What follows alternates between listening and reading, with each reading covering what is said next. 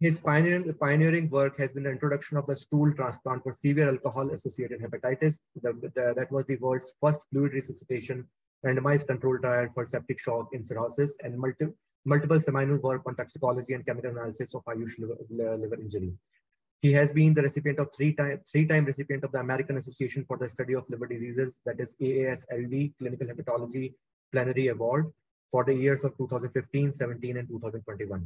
He's also he has also received the ASLD Young Investigator Award uh, four times for the years 2015, 16, 17, and 2021. And he is the only hepatologist in the whole Asian continent to have done so. He is the International Young Investigator Award uh, recipient for, by the ASLD for the year of 2021 for his work on the long-term outcomes associated with the uh, uh, with the uh, FMT in severe alcohol-associated hepatitis. And for the same work, he also received the Om Prakash Rising Star, National Award by the Indian Society of Gastroenterology. He's also he has also received the ASLD Award uh, for the, inter, uh, the internet for the International Fellow Award for his work presented at the Digestive Diseases Week San Francisco, uh, San Diego, Diego in 2022. He has more than 165 publication, uh, publications and more than 1600 citations. He is currently a clinical advisor and doctoral advisory committee member to the Department of Cell and Tissue Culture, Sri Chitra uh, Thirunal Institute for the Medical Sciences and Technology, the Government of India at Trivandrum and expert member for the Center of Excellence in the microbiome, microbiome for the state of government of Kerala, India. Welcome, Dr. Cyriac, and thank you for joining us. We have we also have a stellar panel of uh, the five uh, uh, great uh, panelists. Dr. Amrish Sahni is a senior consultant uh, in, the, in transplant transplant hepatology and and uh, gastroenterology at the depart at the Department of Hepatology and Liver Transplantation at BLK Max Hospital, New Delhi. He deals with all kind of complicated and uncomplicated portal hypertension patients and is a leading endoscopic inter interventionist. He is a well-published and well-read hepatologist and has been very active in, in the field of academics as well. He is involved in the teaching of super specialty trainees at the hospital and has been the spearhead of the liver transplant program at the BLK Max Hospital. Welcome, Dr. Amrish. Dr. Saista Amin is a trained pediatric gastroenterologist and hepatologist from the King's College, uh, London. And he, she is also received training at the Sick Kids Tor uh, Toronto, and she is currently working at the Ministry Hospital in, in UAE. She has won the Young, Young Investigator Award in 2014 at ILTS.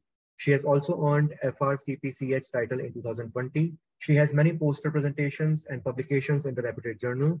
With extensive experience in pediatric liver transplant, uh, she has been featured in many leading newspapers in India as well as abroad for her work. Welcome, Dr. Saista. Dr. Amar Mukund is a senior interventional radiologist who is heading the department of one of the topmost liver uh, institutes in India, that is the Institute of Liver and Biliary Sciences. He is well known for his interventional radiology work, and he is one of the topmost interventional radiologists in the whole in the entire country he has been uh, uh, he has been uh, not just doing but but teaching as well a lot of DM students and there are a lot of students all around the country who have been doing marvelous work because of the teachings that he has he has given. He also has a lot of publications and a lot of academic achievements, and he is it is an honor to have him in our uh, pan, uh, panel for today. Welcome, Dr. Amar. Dr. Ravi Bharadwaj is a senior pediatric hepatologist uh, uh, from uh, who is working both at the Care Hospital Jaipur, India, as well as the BLK Max Hospital, New Delhi, India. He is dealing with with all kinds of pediatric liver diseases patients as well as pediatric gastroenterology patients. He is spearheading the program of pediatric gastroenterology and hepatology at the BLK Max Hospital. He is not just an educator as well as the as well as a physician, but he's also a great researcher. And his work has been published all around the world and has been been the result uh, uh, result for a lot of uh, pediatric hepatology protocols which have been made around the country. Doctors, Dr. Johns, Shaji Mathews, it is an honor to have him because he is also one of our team members and he has been a big help to arrange this session which we are having today. Dr. Johns is a, uh, clinical is a clinical lead and the senior consultant of uh, liver transplant and HPB surgery at uh, the at the Liver Institute in the in Kerala. He is one of the senior surgeons who is well trained in liver, both adult as well as liver, as well as pediatric liver transplants. And he has an achievement of hundreds of liver transplants uh, under his sleeve. He is also an expert in doing the non-transplant shunt surgeries and other surgeries which are done for the for the portal hypertension. And it's he's going to be a great great uh, addition for today's session to discuss the surgical aspect of the portal hypertension. I welcome all of the panelists for today, and uh, I'll uh, uh, invite Dr. Cyriac to Dr. Uh, Cyriac A.B. Philips to start the session from his side.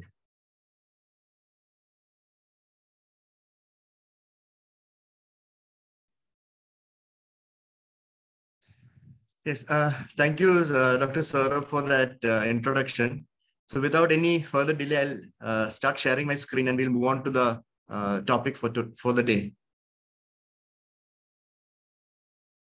I hope uh, this is visible and I'm audible. Yes, you are. Thank you. Thank you. Okay. Yes. Okay. Uh, uh, thank you for inviting me to this session. So uh, basically, through this topic, I would like to uh, discuss uh, simple uh, aspects of portal hypertension management in our day-to-day -day clinical practice. So I don't want to compl uh, complicate any uh, any of the topic uh, to extent that you know people feel bored or you know they cannot use it in their clinical practice. So we'll not be discussing any major basic science work or we'll not be discussing major papers. What is current practice and what updates are there is what we will discuss in different aspects of portal hypertension. So to start off with, uh, this is a pathophysiology in a nutshell. Uh, I mean, we all know that portal hypertension develops in a cirrhosis patients because of two factors. One is the structural change that happens to the liver. And second is the functional change. Functional change in the sense, mostly it is because of the vascular related changes. So the structural changes usually account for about 70% and the functional changes account for about 30%. And structural changes include presence of inflammation, fibrosis, regenerative nodules, presence of fat, or even thrombosis. And the vascular changes are mostly to do with uh, chemical receptors and hormones and other, uh, other vasoconstrictors and vasodilator imbalances. And all of this actually contribute to hepatic vascular resistance increase as, as the disease progresses. And that is what actually leads to portal hypertension. So portal hypertension is a, is a state of increased portal venous inflow because of structural and vascular changes within the cirrhotic liver. And once that aggravates, you'll have different uh, clinical uh, manifestations of portal hypertension in the patient. So how does portal hypertension spectrum move? So we have a patient of cirrhosis recently diagnosed, and he has evidence of portal hypertension. I'll come to this in the next slides, what evidences we look for. So we'll have a patient with portal hypertension, which is either mild or clinically not significant. Uh, we'll have a patient with portal hypertension, which is clinically significant in the presence or absence of varices. And once the clinically significant portal hypertension uh, proceeds, patients start developing complications of portal hypertension, which results in decompensation of the underlying liver disease, which later goes into an advanced or a late stage of decompensation where they'll have multiple uh, complications associated with portal hypertension or refractory complications, whereby they either end up uh, having a liver transplant or they die in the natural progression of the disease. So what are the stages? So we, we all know about discussing cirrhosis from a child uh, point of view, right? We all talk about CTPA, CTPB, CTP-B, but I think we all should talk more on and discuss more on this particular aspect of classification of cirrhosis and portal hypertension, which is based on the Baveno staging. So this was previously known as the D'Amico staging, and later it was endorsed by the Baveno. And this is how we actually stage. So we'll have stage one to stage five. And depending on the presence or absence of portal hypertensive complications, we have patients with varices, uh, without varices in stage one, with varices in stage two, a bleeding event in stage three, and a first non-bleeding event in stage four. And then in stage five, you have patients who develop multiple complications of uh, cirrhosis and multiple decompensating event. So this, this particular diagram shows that the proportion of patients who actually move on from each stage into the other stages uh, within one year. So for example, if you look at a patient in stage one without varices, the chance, the proportion of patients who actually uh, die in that stage is only 1.5%. That is in, uh, in one year. But if you look at a patient who has developed varicose bleeding, then about 20% of them can die uh, within one year. So by looking at this kind of uh, a representation of cirrhosis and portal hypertension, we can easily uh, prognosticate our patients and take measures to uh, you know, arrest progression of disease in particular stages or the define patients who would improve with an early liver transplant. So this is what we should be practicing in our routine uh, clinical practice in hepatology. Don't go by uh, CTP ABC. Please try to go by the D'Amico or the Baveno staging of liver cirrhosis and portal hypertension. So how do you approach a patient uh, with portal hypertension? So the first uh, aspect is to uh, define if the patient has underlying liver disease and if the liver disease is associated with a clinically significant portal hypertension. So we have various measures to do it. We have invasive methods and we have non-invasive methods. So the non-invasive methods are mostly to do with imaging, uh, which includes both ultrasound imaging and contrast enhanced imaging and also uh, something known as uh, liver stiffness measurement. That is, you, you estimate the stiffness of the liver through a non-invasive method, such as an ultrasonographic shear wave method or a fibroscan method. I'll be talking about that in the next few slides. So once you identify patients who develop, uh, who have underlying liver disease, then you assess them for presence or evidence of portal hypertension.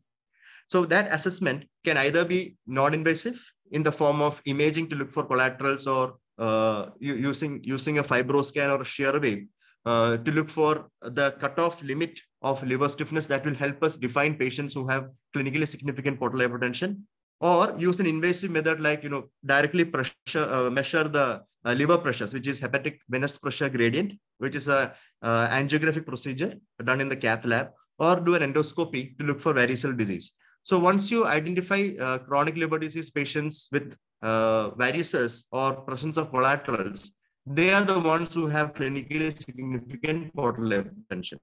Or if the patient has an HVPG more than or equal to 10 millimeters of mercury, we define them as having clinically significant portal hypertension.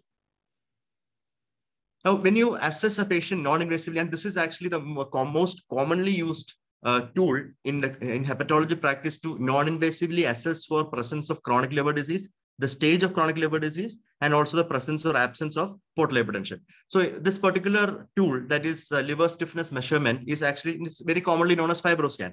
So fibroscan is actually a, a, a process which was uh, which was a French invention, and uh, this was invented by this person by the name Laurent Sandrin, and uh, under the guidance of Professor Mathias Fink, uh, where they actually identified a particular um, uh, they identified a particular technology known as vibration controlled transient elastography patented that in 1999 and two decades later uh, two decades later we have fibroscan. So fibroscan is that is the name of the machine. The actual uh, procedure is known as vibration controlled transient elastography where you uh, uh, use ultrasonic waves to measure the stiffness of the liver.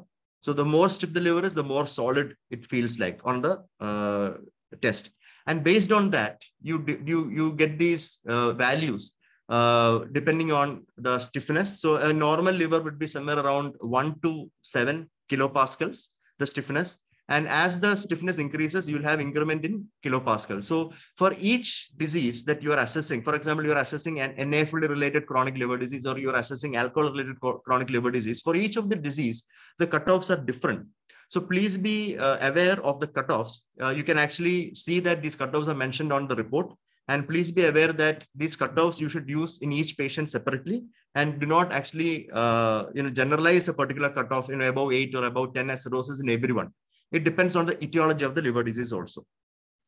So once you have identified a patient who has uh, chronic liver disease, uh, previously, we used to have cirrhotic patients presenting with, you know, we define them as either compensated or decompensated, and there is nothing uh, in between or beyond that. But things have changed. So according to the new Baveno guidelines, there is a group called as compensated advanced chronic liver disease, which is CACLD. And it is very important for us to define them because a subset of patients in this particular group, we can actually reverse their fibrosis, reverse their cirrhosis, and bring them to a normal stage. So what is a uh, CACLD? So look at this particular diagram on the right in the in, in the red. You can actually say that when you when you look at the clinical status, you'll have you'll see that these patients look non-cirrhotic. That is, they have no features of cirrhosis clinically. And uh, but when you look at uh, histology, they will have F3, a minimum of F3 fibrosis, or in the uh, transient elastography, they will actually have a value between uh, somewhere around 10 plus, median of 15, but below 20. There is a liver stiffness is somewhere around 10 to 20. Uh, patients will not have clinical features of cirrhosis. And a biopsy, if you do, it will be a minimum of advanced fibrosis, that is F3. And in these patients, you have two stages. One is the early compensated stage and the late compensated stage. So early compensated stage, you actually don't have portal hypertension, which is significant. That is portal hypertension, uh, HVPG values will be less than 10. Uh, it'll it'll be uh, patients will not have varices or any collaterals. And as the disease progresses, when you have F4, that is cirrhosis, even then the uh, HVPG value will be less than 10. So a patient who, who is in between F3 to F4 without any clinical features of cirrhosis or with stable clinical features of cirrhosis with a portal venous pressure, I mean hepatic venous pressure gradient less than 10 or an elastography that is between 10 to uh, 20, a median of 15. We call them as compensated advanced chronic liver disease patients. And these patients are the ones we actually need to identify because we can actually halt progression uh, in, the, in this disease group depending on the etiology. So uh, once you have a patient with portal hypertension that is recently diagnosed, either have patients coming in with uh, an imaging finding showing that you know there is presence of varices or abdominal collaterals, or a patient who comes with a diagnosis of cirrhosis. That is, there is changes in the uh, liver structure and shape on imaging, and they have come to you for further evaluation. And how do you approach them? So first and foremost is to go for a physical examination, do the labs, that is the blood work, including a complete blood count and minimum uh, liver function test and you look at the synthetic dysfunction. So if the patient has a synthetic dysfunction, that is presence of jaundice or a low level of albumin, and the patient has a nodular liver and enlarged caudate lobe, then that is a cirrhotic patient. And if the patient has, then you look at assess the portal hypertension complications that the patient has. There is presence or absence of varices and other things. Now, if the patient has no clear evidence of cirrhosis on baseline imaging, then you go for a liver stiffness measurement. That is either with fibroscan or a shear wave. So if that is above the threshold, then that is patient is diagnosed to have cirrhosis and with portal hypertension. I mean, if it is below the threshold, then you can actually uh, go in for additional uh, imaging like MR imaging or uh, a biopsy. Now, if the patient is already diagnosed structurally on imaging as cirrhosis, always go for a liver stiffness measurement to confirm that this is advanced fibrosis or cirrhosis and also do a platelet count. Now, these two parameters are very important because if you have a patient with uh, a fibroscan less than 20 and a platelet count more than 1.5 lakhs, then in that patient, there is no clinically significant portal hypertension. You don't have to do a, endoscopy in that patient. You don't need to do a CT scan in that patient. But if the patient has uh, liver stiffness more than 20 and platelet is less than 1.5, yes, this patient has possibly underlying clinically significant uh, portal hypertension, which means that this patient needs to be screened for uh, high risk varices or presence of uh, significant varices. So always remember that when you see a cirrhosis patient in your clinical practice newly diagnosed, do not jump and go for an endoscopy right away and then go on to ban the varices right away. Please do, if available, a fibroscan and a platelet count. And if the fibroscan is more than 20 and platelet count is less than 1.5, then please do an endoscopy to see for variceal status and then treat the patient for the variceal disease. So uh, in the upcoming uh, say, I mean, uh, slides, we'll be discussing some important complications of portal hypertension from hepatic encephalopathy, uh, kidney involvement, pulmonary complications, ascites, and then variceal disease. So let us start off with the most important and most common one that we actually see in day-to-day -day practice, which is varices. So if you look at a cirrhotic patient, once you have a progression of cirrhosis and portal hypertension, various uh, collaterals start forming within the body. And the commonest site is the esophagus, followed by uh, the stomach. And abdominal collaterals can form at any stage, even in the absence of uh, disease. So once these, these are formed because of recanalization of embryonic channels, because of high portal pressures, or they can actually form because of neoangiogenesis. That is, new channels are formed in the presence of portal hypertension. And those channels are usually known as shunts. And we'll be coming to that uh, in a few slides later. So once the patient has uh, presence or absence of varices, you have to understand that if possible, if it is available in, at your institute, this is not mandatory. If you can, please do an, a hepatic venous pressure gradient because this is important for us to prognosticate. So these are the new things that we can do for our patients with portal hypertension. So if a patient has more than equal to 10 millimeter of mercury uh, HVPG, then that patient has clinically significant portal hypertension and requires treatment for portal hypertension. If it is more than or equal to 12, then there is an increased risk of variceal bleeding. More than 16 means there is increased risk of mortality at three years. And more than 20 means that in a bleeding patient or a patient who has high risk of bleeding, there is a very high chance of treatment failure due to uh, acute varicose bleeding, which remains uncontrolled. So these are the patients who will improve with early interventions. What interventions we'll be talking about in the next few slides. So this is the classification of esophageal varices. Uh, I think uh, there is no uh, generalized classification that everybody follows everywhere. I think it's very different in the institute I follow. It is different in institute in Delhi. It will be different in uh, you know Pakistan or Bangladesh or in other parts of the world.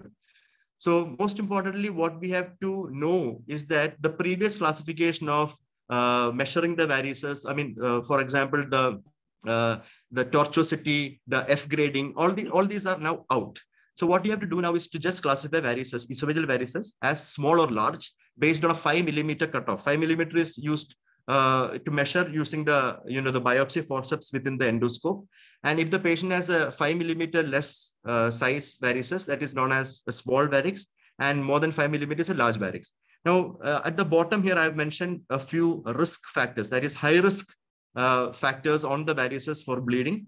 So these are wale markings. These are hematocystic spots. These are diffuse wale markings. And uh, patients will have diffuse erythema over the varices also. So these are high risk uh, features where which shows that these varices can bleed. So you define varices as small or large with or without high risk features. That is low risk or high risk. This is how you define varicose disease at the moment. And it is easy for us to document also. So what happens when you identify varices? So when you screen patients with cirrhosis, and there are no varices, then you have to repeat the uh, endoscopy in every, every two to three years. And if the patient has small varices and there is high risk of bleeding, then you start the patient on a beta blocker. That is a non-selective beta blocker. Currently advocated is carvedilol and second is propranolol. Uh, if the patient has no high risk varices, then you have to repeat the endoscopy in one to two years. But here I would like to mention that this particular aspect has changed. Even if the patient has low risk varices, if the varices are present, even if it is low risk or high risk, you please treat that with non-selective beta blocker. Because current data says that if you treat a patient with uh, clinically significant portal hypertension, even in the presence of varices which are low or high risk, it helps prevent decompensation in the future. So the moment you see varices, please treat the patient with a uh, non-selective beta blocker. And obviously, if the patient has large varices, then you go on for a prophylactic therapy as always. So why do we repeat this? I mean, for example, you see these patients, we repeat up to one to two years, and these patients we repeat two to three years. It depends on how the etiology is. So for example, if the patient is uh, a chronic alcohol user and is continuing to take alcohol, they need screening at two years if they have no varices at baseline. Uh, if they have varices at baseline, you need screening at one year. But if these patients have well-controlled etiology, that is the liver disease is quiescent, it is not very active. They have stopped alcohol, they have lost weight, diabetes is under control, they are on antiviral therapy. If these things are there, then you can actually wait for three years in patients without varices to recheck their varicose status and two years in patients who are already on beta blockers um, uh, since baseline uh, evaluation. So please remember that you need to do endoscopy uh, from uh, anywhere from one to three years, depending on the etiology aspect of the patient and presence or absence of varices. Now, uh, how do we treat? This is primary, this is primary prevention. So primary prevention is that when you find varices, you treat to prevent a bleed. Pre-primary prevention is to prevent development of varices. So there is no recommendation to start beta blockers in patients without varices, even if they have clinically significant portal hypertension. So please remember, treating patients without varices just to prevent varices is not recommended, but treating patients with varices to prevent a variceal event is recommended. And you either use carvedilol, uh, maximum of 12.5 milligrams per day, or propranolol. Nadolol is not used in our, our part of the world. Uh, and you can actually choose what you want to use, even though carvedilol in the recent uh, papers have shown superiority over propranolol. But uh, ultimately, what you have to know do is that you have to look at patient compliance and may ensure that these targets are maintained. That is, the systolic blood pressure is more than 90 and the resting heart rate is between 55 to 60 Depending on this, you can either titrate or reduce to uh, help the patient be compliant or tolerant. So previously, this was how we used to approach varices, right? The one in the gray column, you see large varices, you either put a beta blocker or you, you band ligate. And this, this practice is happening even now, where you actually see a large varix and you just band the patient and keep banding until the varices are eradicated, even if the patient has not bled. So this practice should stop. What we do is now what is seen in the blue column. So you assess the patient uh, with respect to the liver stiffness measurement and platelet count and if the platelet count is low and liver stiffness measurement is more than or equal to more than 20, but less than 25, then there is clinically significant portal hypertension with varices. Then you directly start the patient on beta blockers. You know, even if, even if the varices are large or small, don't bother banding it. You don't need to band it in, in whatever stage the patient is. Even if the patient is in decompensated stage, don't band. Please start them on beta blockers. And once the patient is on beta blocker, if the patient is not tolerating beta blocker or there is contraindications to beta blocker, only then you go for band ligation. Otherwise, at the outset, please don't band all your patients with large varices if they have not bled. So this is a, a, a, few pictures where we show where I've shown uh, uh, you know, how the varices bleed and what stigmata we find during endoscopy. So you can have anywhere from a large ulcer on the varix to a oozing varix to a white platelet plug to a red platelet plug, a ruptured varix here, a gushing varix here, and a spurting varix here. So these are all the uh, images that you see in a patient who has actually bleeding, a bleeding insular variceal patient. This is what you see. Now, what do you do in a bleeding variceal patient? The first step is to do an endoscopy, and this has to be done within uh, 12 hours, and that is a dictum. Uh, you don't uh, take it beyond 12 hours. Even if you do it even with, within six hours, it is equal to being uh, done in 12 hours. Only an exsanguinating patient where there is severe bleeding leading to hypotension and the patient is in shock, you have to stabilize the patient and then do the uh, banding as early as possible. Banding is quite simple, very simple learning curve through an endoscope, we actually suck in the varix and then put a rubber band on top of it. So how many rubber bands do we apply? Ideally, it should be not more than six. Why? Why can't we put 10 rubber bands and 12 rubber bands? Because studies have shown that if you put anywhere above six rubber bands over in variceal disease, the outcome is same as doing it at 10, 10 rubber bands or putting 12 uh, rubber bands. So the numbers don't matter. So anywhere between minimum of four to six, depending on the variceal columns, you can band the patient, but do not go beyond six. Uh, I've seen patients undergoing bands, uh, 10 to 12 bands have been put, and that actually inadvertently leads to post-EVL ulcers and patients can have more bleed. So please don't band more than six. So this is how we approach a patient with uh, acute variceal bleeding, that is esophageal variceal bleeding. So initially, you do resuscitation, start them on vasoactive drugs, so the vasoactive drugs is shown here on the side. That is somatostatin or terlipressin or octreotide or vapreotide, whichever is available in your country or in your region, please use that. Because in variceal bleeding, for, for hemodynamic uh, stability uh, and control of bleed, any of them will do. Because studies have shown that the results with using any of this is equal. The only thing is that terlipressin additionally prevents kidney injury. So that is why terlipressin is currently endorsed as the number one agent for acute variceal bleeding. Even we use uh. Our guidelines also state terlipressin. But otherwise, if you don't have terlipressin, you can use the other ones because our, our aim is to stop the bleed and stabilize the patient. So once the patient comes with bleeding and the bleeding is controlled, so you assess the patient. So the patient might be in a low risk group or a high risk group. So the low risk group is a patient with child A or B status without any active bleeding during endoscopy he has a low MELD score that is below 19 and his hepatic venous pressure gradient, if you can measure it, please do, should be less than 20. So in such patients, we put them on vasoactive drug therapy, that is terlipressin or others for three to five days.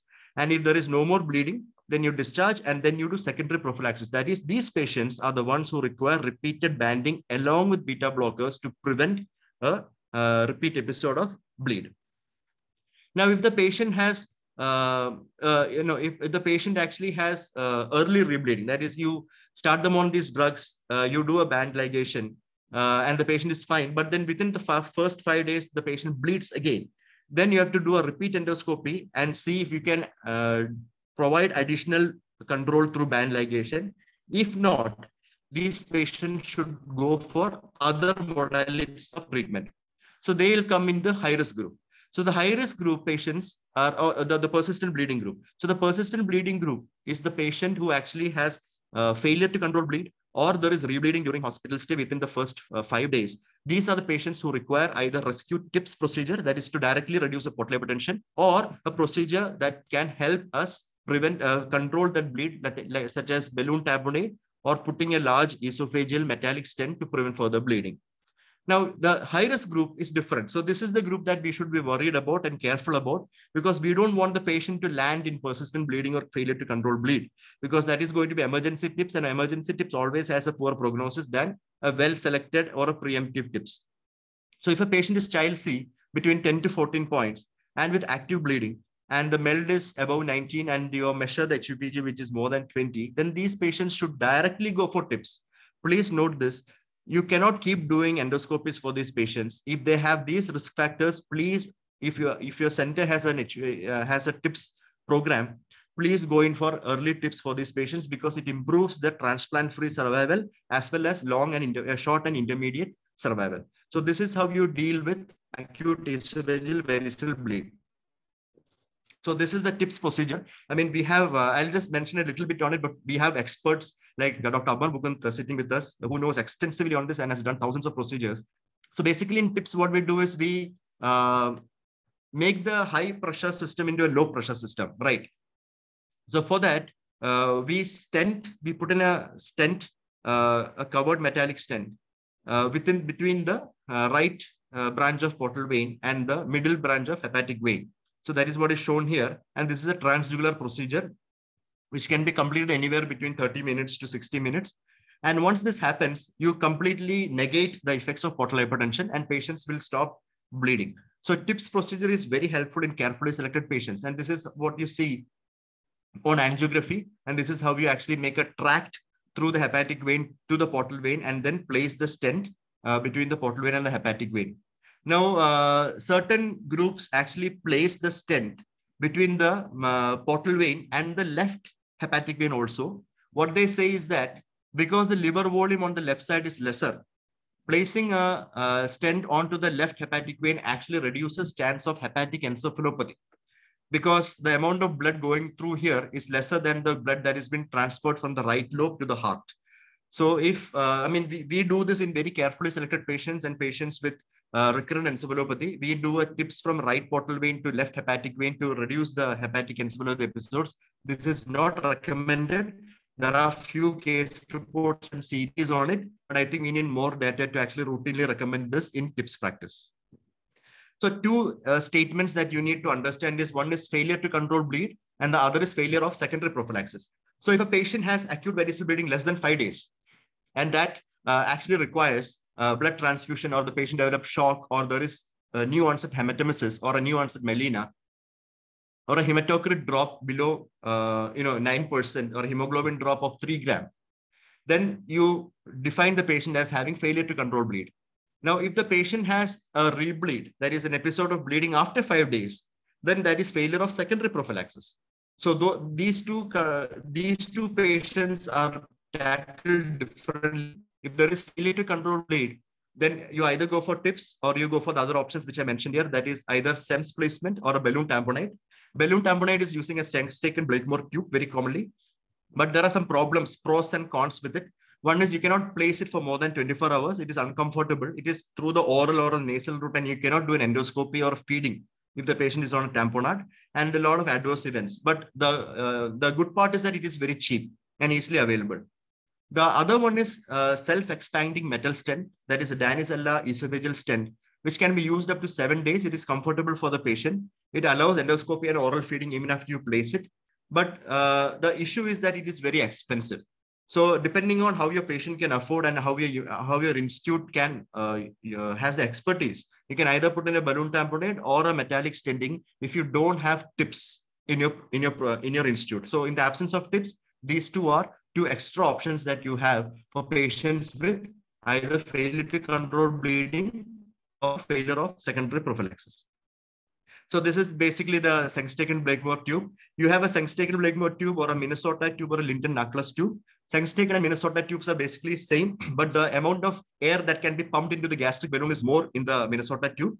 And the uh, Linton Nachlas tube actually does not have a, a esophageal balloon. It has only a gastric balloon. So you place the, uh, you know, you place the whole apparatus through the mouth into the stomach, push in 50 ml of air through the prescribed channel, and then lock other channels, and then put traction, pull it out and put traction on it. And that traction will actually uh, cause pressure at the gastroesophageal junction and then reduce the esophageal variceal bleeding. It does not improve portal hypertension, but it just prevents further bleeding until a definitive care can be taken up. So uh, what about the SEMS procedure? So this is basically the large esophageal stent that we place. So if this patient is actively bleeding, there is a gushing, you cannot actually put more bands because you can already see bands put here and there are ulcerations. So we place a, a, a self-expanding metal stent from the GE junction, like from covering the GE junction to the upper part of the esophagus. And you can actually see that the bleeding has stopped. And after seven days, you remove the stent. You don't keep it there. The problem is that if patient has large hiatus hernia, then this stent can actually migrate into the stomach and that causes a lot of problem because then you can have sudden rebleeding or a failure to control bleed even after the SEMS placement. So you have to be careful. Expertise should be required to place a stent like this. Now the TIPS procedure is what I would like to enforce here because if you can do it for the patient, if it is available, please do it because the TIPS is not just for the varices, it is for portal hypertension. And it is actually one of the best treatments that you can offer your patients if they are not an immediate candidate for liver transplantation and has severe complications of only portal hypertension. You can actually see that this patient has beautifully uh, recovered from complications and features of portal hypertension after TIPS placement. Next, we come to gastric varices. So gastric varices uh, is slightly more complex and difficult than esophageal varices because gastric varices is actually a complex uh, uh, complication. Uh, in the sense, gastric varices are associated with more of collaterals. There is a there is a there is a complex pathway. There is a, it has an afferent pathway and an efferent pathway, and also gastric varices are usually what we call as associated with large portosystemic shunts. So this is something that we don't see in esophageal varices, but presence of large portosystemic shunts completely changes how we manage this variceal disease. So we have the uh, original Sarin classification, uh, which uh, classifies into type 1, type 2, type and uh, GOV, or type 1 and type 2 IGV. But this classification is slowly coming uh, out of favor because we have better classifications which actually take conscience of both the anatomy, that is the shunt anatomy and the various hemodynamics of these varices for us to give better targeted approach to treating variceal disease. So uh, this is, I've shown some examples below of uh, gastroesophageal varices type 1 and 2 and also uh, IGV1 and IGV2. So this is the shunt anatomy. I think everybody should know about this because gastric varices is not just gluing or uh, coiling. It is much more than that. So based on the anatomy, you, you can actually see there is a varix here and you have a supply from the left gastric vein or a short gastric vein or a posterior gastric vein. And then you can have large shunts also supplying the varix. So this actually makes the variceal disease a complicated anatomic structure. And based on that anatomy of drainage pathway, that is afferent or efferent, that is outflow pathway and inflow pathway, we can actually divide these into different types. That is type A, B, C or type 1, 2, 3. And depending on these types, we decide what treatment we need to offer. For example, if the patient has a large shunt and a big varix, you need to actually not tackle only the varix, you need to tackle the shunt also. But if the patient has no shunt and has only a big variceal complex with small collaterals, then you can only tackle the varix. There is no need to go for a shunt or a portal hypertensive management separately. But if the patient has multiple collaterals, large shunts, and a large variceal complex, then you actually need to consider uh, doing additional procedures like TIPS or shunt occlusion in this patient. So this is the variceal gastric variceal classification that we must follow. This is more comprehensive. It is also hemodynamic based and not just location based. So how do you prevent a primary uh, gastric variceal bleed? So just like esophageal varices, you assess for high or low risk. If the patient has uh, GOV1, that is uh, gastroesophageal varices type 1, you treat exactly like what, how we treated in esophageal varices. If the patient has gastroesophageal varices type 2, then what we do is we assess the variceal uh, risk. Small varices here is not 5 millimeter, it is actually 10 millimeter. So if the patient has less than 10 millimeter, it is 4. If it is more than 10 millimeter, it is large. And if the patient has not bled, please put the patient on beta blockers. Now, what about very high risk varices? That is, patient has large varix more than 20 millimeter, there is high MELD score decompensated. In that case also, uh, we can actually put them on beta blockers to prevent further bleed if the patient has not bled. But a single randomized control study has shown that you can actually go in for preventive uh, measurement, uh, preventive measures like you know prevention of bleeding by uh, doing a prophylactic glue injection or a coiling. But this is not recommended as per the Baveno guidelines. This can happen if the physician and the patient wants to. Otherwise, it is not recommended. And if the patient has a large shunt associated with it, in the absence of uh, a bleed event, please don't occlude the shunt, which is why I have put a uh, red marker here because uh, you don't primarily occlude a shunt because of a high risk gastric varix. You only occlude the shunt if the patient has actually bled or if the patient has encephalopathy because of the shunt. So please don't primarily occlude a shunt or inject a varix if you uh, uh, if, if the patient has not bled. But depending on what the patient prefers and you prefer as a physician for the patient, if there is a high risk of bleeding, you may go ahead with the prophylactic gluing for these patients. So these are some pictures of massively bleeding uh, patients from our uh, experience. Uh, gastric variceal bleeding is always very difficult to control because it's in the stomach. And I, am sure a lot of the uh, endoscopists here know how difficult it is. So how do you uh, manage a patient with active gastric variceal bleeding? So uh, in here, we have two types of patients. One is a patient with a shunt and one is a patient without a shunt. So let us look at gastroesophageal varix type 1, which is like esophageal varices only. You control the bleed, go in for variceal eradication, start the patient on beta blockers. And if the patient has recurrent bleeding or a rebleeding, you please uh, offer the TIPS procedure as the uh, control measure for portal hypertension. This is very simple. If the patient has persistent bleeding, then you directly uh, look for TIPS procedures. High risk patients who keep on bleeding, TIPS is the way to go. But what about uh, gastroesophageal varix type 2 or IGV1? So in these patients, if the bleeding is controlled, still you go ahead with various eradication protocol that is gluing and uh, banding uh, along with beta blockers and then continue the uh, endoscopic uh, surveillance throughout the years. That is every two to three years. Now, if the patient has persistent bleeding, then you have to 100% you have to look at the imaging. So every gastric variceal bleeding patient, please do a contrast imaging of the abdomen. That is a CT imaging to look for the anatomy of the gastric variceal complex. You have to identify the afferent, the outflow, the inflow, and you have to identify presence or absence of shunts. So if there is prominent draining shunt, then you look at the portal vein. So the patient has a gastric variceal bleed, which is persistently bleeding, and the patient has, uh, know, in a on the contrast imaging has a large shunt, and then there is a portal vein which is severely attenuated or thrombosed, or a portal vein which is patent. Depending on that, you take a call. So if the portal vein is patent and the patient has uh, no other complications of ascites or hydrothorax or other complications of portal hypertension, then you can actually go directly for shunt occlusion for these patients. You don't have to do a TIPS. But if the patient has uh, a severely attenuated portal vein and uh, these patients actually have encephalopathy at admission, then these patients need to be considered for uh, endoscopic procedure that is endoscopic ultrasound.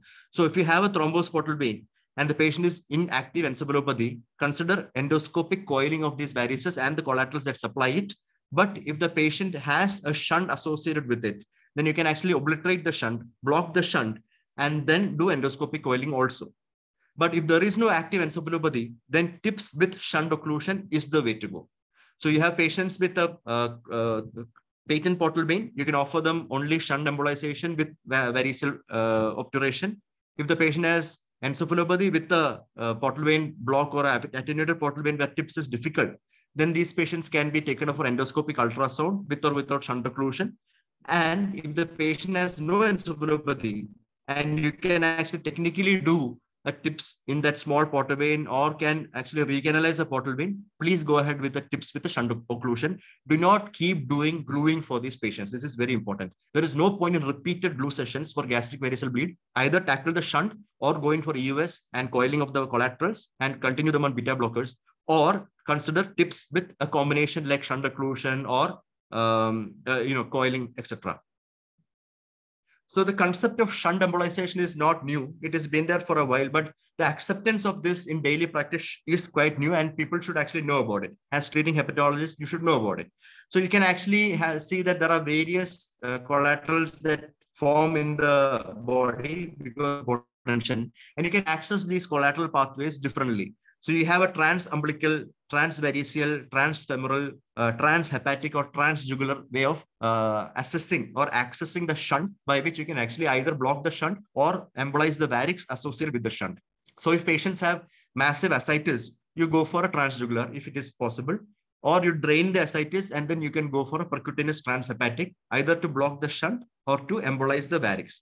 Uh, this is some these are some examples where i've shown you know patient has large bleeding gastric varices. There is blood in the stomach with the varix here. You uh, you access through the percutaneous route put a balloon in the shunt and then uh, inject sclerosant and then block the shunt. And you can see on follow-up the, the uh, varices are all blocked. The sclerosant is here and all the varices lipiodol is there and all the varices are gone. In this uh, you can actually see that patients patient also had uh, you know uh, ascites. So we drained the ascites, and then what we did was we blocked the shunt, and you can actually see that once the shunt was blocked, then the patient actually had improvement in portal vein caliber and liver function tests. So what happens when you block a shunt is that all the blood inside the shunt will go back into the liver and you can have aggravation of portal hypertension. So in that case, if the patient has already ascites at, at, at baseline when you're treating for uh, bleeding, ideally, if you're going to going to go block the shunt, please consider a TIPS procedure along with it because TIPS will take care of the portal hypertension and any amount of blood flow in the liver, the TIPS will handle it. But if the patient has no ascites, you can directly only go for a shunt occlusion. And some of these patients do develop ascites in the future because of the shunt occlusion, but they can be easily managed through diuretic therapy and beta blocker therapy. Now I come to ectopic variceal bleeding. So any varices that has no continuation with the esophageal varices is actually considered ectopic. So you have GOV1, esophageal varices, and GOV1 and GOV2 are actually uh, standard classical varices. Anything beyond that, that is IGV1, IGV2, duodenal varices, stomal varices, jejunal varices, these are all uh, ectopic varices. So I'm, i have shown a, a, a, picture here, which we published recently. You can actually see that this patient is actually bleeding from umbilical varices, massive paraumbilical varices, which are spurting. What we did was we accessed the uh, shunt that is supplying that varix, and then we did a percutaneous uh, uh, percutaneous embolization of the varix through the shunt, and then obliterated the shunt without doing a TIPS here. So if you have an ectopic variceal bleeding, the first is to see if the varices are accessible on endoscopic or colonoscopic uh, you know, uh, procedure, if they're accessible, then please do endoscopic management. That is, in, inject a glue or use a sclerosant to obliterate the varices. If there is no endoscopy or colonoscopy access, for example, varices like this, they're on the umbilicus or in the jejunum where you can we cannot access immediately. Then identify the varices and also understand their patho uh, the anatomy on cross-sectional imaging and based on that, if the cross-sectional imaging is good for a TIPS procedure, please offer them a TIPS procedure. If the patient is having contraindications to TIPS, that is actively in encephalopathy, advanced liver failure, jaundice, encephalopathy, uh, sepsis, kidney injury, then then these patients you do not do not do TIPS. What you can do is you uh, either through the transjugular route, through the liver, um, access the shunt or the varix and embolize it and then come out without putting a stent. That is known as transjugular intrahepatic variceal embolization. Or you access the shunt or the varix through the transhepatic route and then come out. So without putting a stent also, we can do the procedure of embolization and shunt occlusion in high-risk patients for TIPS. But if the patients are good for TIPS, please go ahead with the TIPS procedure. And also, especially patients who are having uncontrolled bleeding or rebleeding from ectopic varices, they all should go for TIPS procedure. So remember these definitions with respect to acute bleeding. Uh, so we have uh, failure to control bleed, and we have rebleeding. So failure to control bleed is basically less than five days and rebleed is more than five days. And depending on that, you choose uh, your intervention early or delayed. So failure to control bleed patients should go for early intervention in the form of TIPS procedure or endoscopic coiling for gastric varices, or um, uh, they should go for other other uh, tamponade procedures or uh, like balloon tamponade and uh, SEMS placement. Now that we have discussed on portosystemic shunts and gastric varices uh, please know that there is a distinct complication of portal hypertension known as portosystemic shunt syndrome. So this is something that everybody should look for in their patients because this has a very distinct and different outcome when you compare with a cirrhotic patient, a run-of-the-mill cirrhotic patient that you see. So some patients actually have large portosystemic shunts. that is, they have large gastrorenal varices or lienorenal, uh, gastrorenal shunts or lienorenal shunts or large mesocaval shunts. And these may or may, may not be associated with varices. And if they have these large shunts, that is the shunt is large when you define it above 8 millimeter of diameter. So a large shunt is defined as more than 8 to 10 millimeters of diameter. And in the presence of large shunts, patients can go through three distinct stages, irrespective of their child and MELD status. So in stage one, you have a large uh, shunt, but the patient has minimal HE and may or may not have portal vein thrombosis, but the patient is usually stable. In stage two, these patients develop recurrent encephalopathy because of the shunt. And they have frequent uh, encephalopathy and the liver parenchymal uh, decrement is also much uh, more in these patients. And they have sluggish portal flow because all the blood flow is going away from the portal vein into the shunt.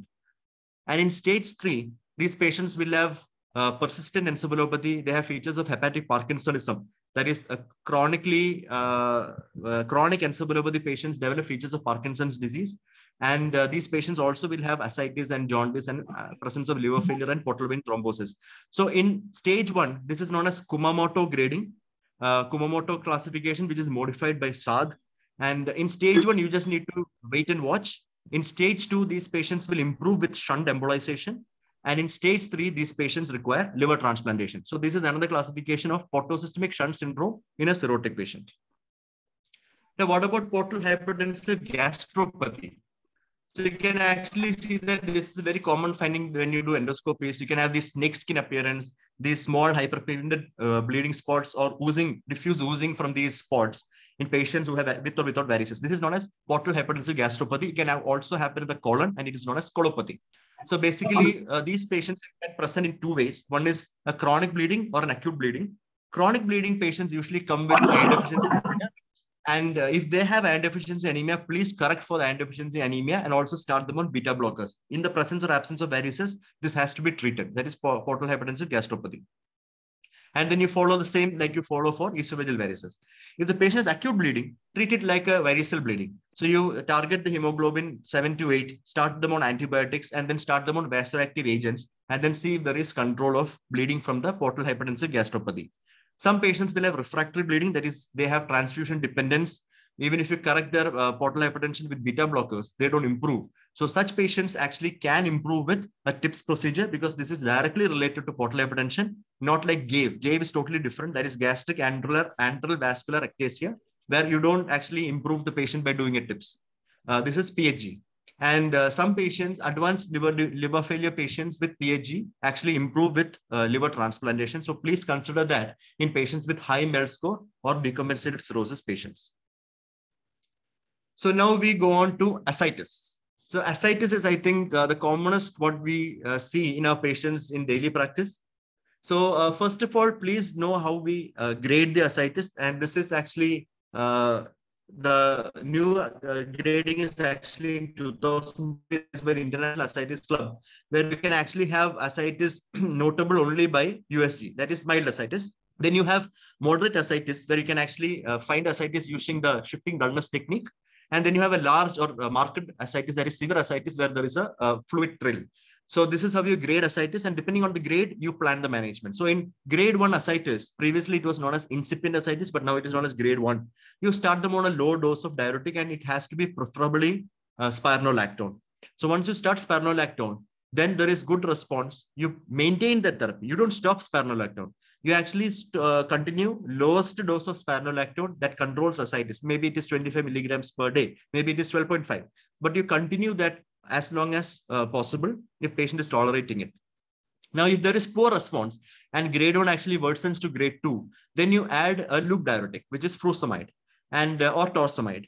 So once this is added, patients will have a good response. If patients don't have a good response, even with addition of uh, a loop diuretic, then you may consider adding tolvaptan. So this is something new. And I have taken this from the Japanese guidelines. What, we, what they do is that if patients don't have good response to uh, loop diuretics with spironolactone, what they do is they actually add tolvaptan to increase free water clearance. And this actually improves uh, effectiveness of the diuretic therapy. And this is in the short term. Please note that adding tolvaptan will not improve the natural history of the disease. It will just give you some tolerance or improvement for, with the diuretic therapy. And uh, in grade two and three ascites, definitely you have to start them on a higher dose of diuretics. So it has to be concomitantly uh, torsemide or furosemide along with uh, spironolactone, never spironolactone alone or never, uh, you know, furosemide or torsemide alone. And if there is a good response, continue with minimal uh, maintenance therapy. If there is no good response, then if the patient is symptomatic, please go paracentesis, or you can actually add tolvaptan and see for betterment of response.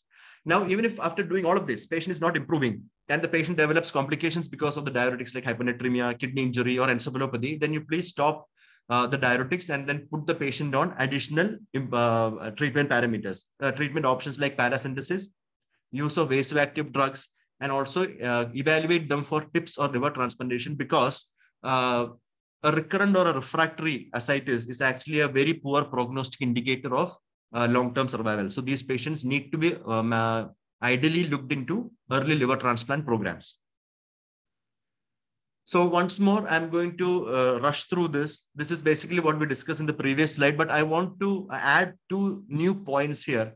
So you can actually see there is this uh, thing called, there is a drug called potassium candrio, uh, canrenoate. So this is what this is what they use in Japan. So basically, this is, is very similar to uh, spironolactone. What they do is they add this also along with the diuretic therapy, and then they define patients with refractory ascites. So this is something that we don't do and we don't know about. But in Japan, they use potassium canrenoate therapy to assess for diuretic, uh, diuretic uh, tolerance and improvement. Uh, now, if none of that works, then the patient has refractory ascites. And if the patient is symptomatic, the safest and best way is to do a paracentesis. You remove uh, less than five liters, it is fine. You don't have to give albumin. But if you remove more than five liters, then with each additional liter, you have to give eight grams of albumin infusion to correct for that, the removal of the fluid. So that is what we do in uh, refractory symptomatic uh, ascites. But there is something known as CART therapy. Please note, note this uh, therapy. This is known as CART. CART is cell-free concentrated ascites reinfusion therapy. So for what, what they do is that when they remove large amounts of ascites, they uh, through aseptic procedures and through apheresis, they actually remove all the cellular components and concentrate the ascites to having globulins and only uh, albumin. And then they reinfuse that into the patient.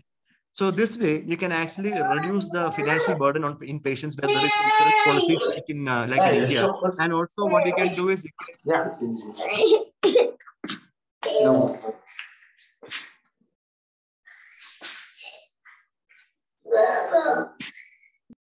Uh, I would request everyone to just mute their mics. Whoever is, uh, uh, you know, all the audience except for Dr. Abby, everybody who is there, please, please mute their mics.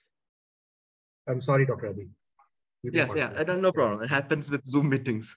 Yeah so uh, i was saying that you know there is something known as cart uh, therapy for uh, you know severe ascites or refractory ascites where they reinfuse the ascitic fluid uh, after apheresis and uh, only maintaining albumin and globulin fractions.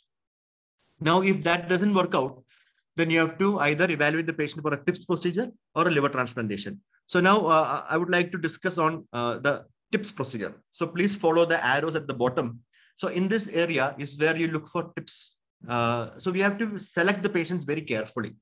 So if the patient has refractory ascites or recurrent ascites, uh, if the patient is less than uh, 65 years of age and has very good liver functions, has a low MELD score, and uh, there is a normal echocardiography, no lung diseases, then this patient is actually good to go for TIPS uh, every patient, I mean, I don't think everybody does this, but I think you should do this in every patient that you assess for TIPS or transplantation. Please check for the uh, BNP levels, the NT pro BNP or BNP level, please check for it. If the patient has a very high BNP level or a very high NT pro BNP level, then this means, and the patient is elderly, and this means that post TIPS, the chances of developing cardiac complications is very high. So these patients should be very carefully selected and uh, it should be a, a, conversation between the physician and the family and the patient uh, notifying them that you know there is a chance for post-TIPS complication, and if they are only willing for that, please go ahead. Otherwise, don't. And in patients who are very uh, elderly, that is more than 70, they have a very high uh, very high chance of developing cardio, I mean, cardiac complications. For example, they have underlying cardiomyopathy. Their child score is more than 13. Their MELD score is more than 19, and their pro BNP levels are very high. Then these patients actually need to be evaluated for transplantation. You know, there is no role of TIPS here. But there is some emerging data that in patients who have CKD, which is why I have not mentioned CKD here. In patients who have CKD and refractory ascites because of uh, cirrhosis, they can be taken up for TIPS procedure even if they have CKD and on dialysis that actually improves the ascites. So please remember CKD with refractory ascites and a stable liver function without encephalopathy active at admission uh, is actually a good indication to go ahead with TIPS procedure. Uh, apart from the fact that if the patient has underlying cardiac disease, is very elderly, frail, with high child scores and active encephalopathy, please don't. But otherwise, uh, TIPS can still be done in patients with CKD.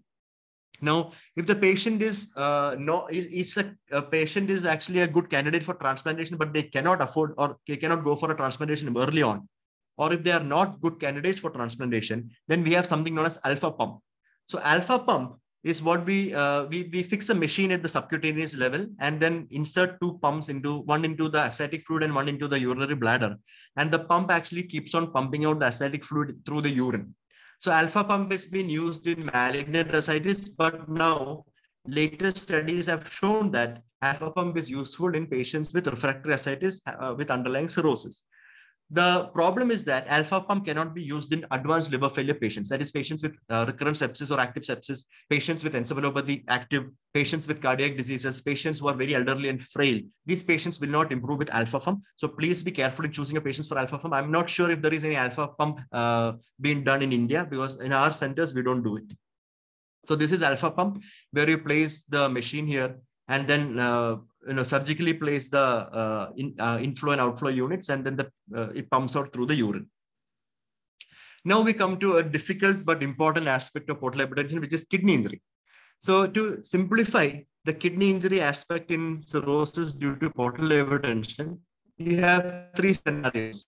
So in the first scenario the patient is stable the compensated cirrhosis patient, no ascites, you can actually see that the interlobular resistive index and the cortical resistive index, that is based on the flow, the renal blood flow, that is the renal arterial blood flow, the interlobular and cortical resistive index, if it is equal to the resist, total resistive index, that is the total resistive index is actually normal in the absence of ascites, they have good renal function.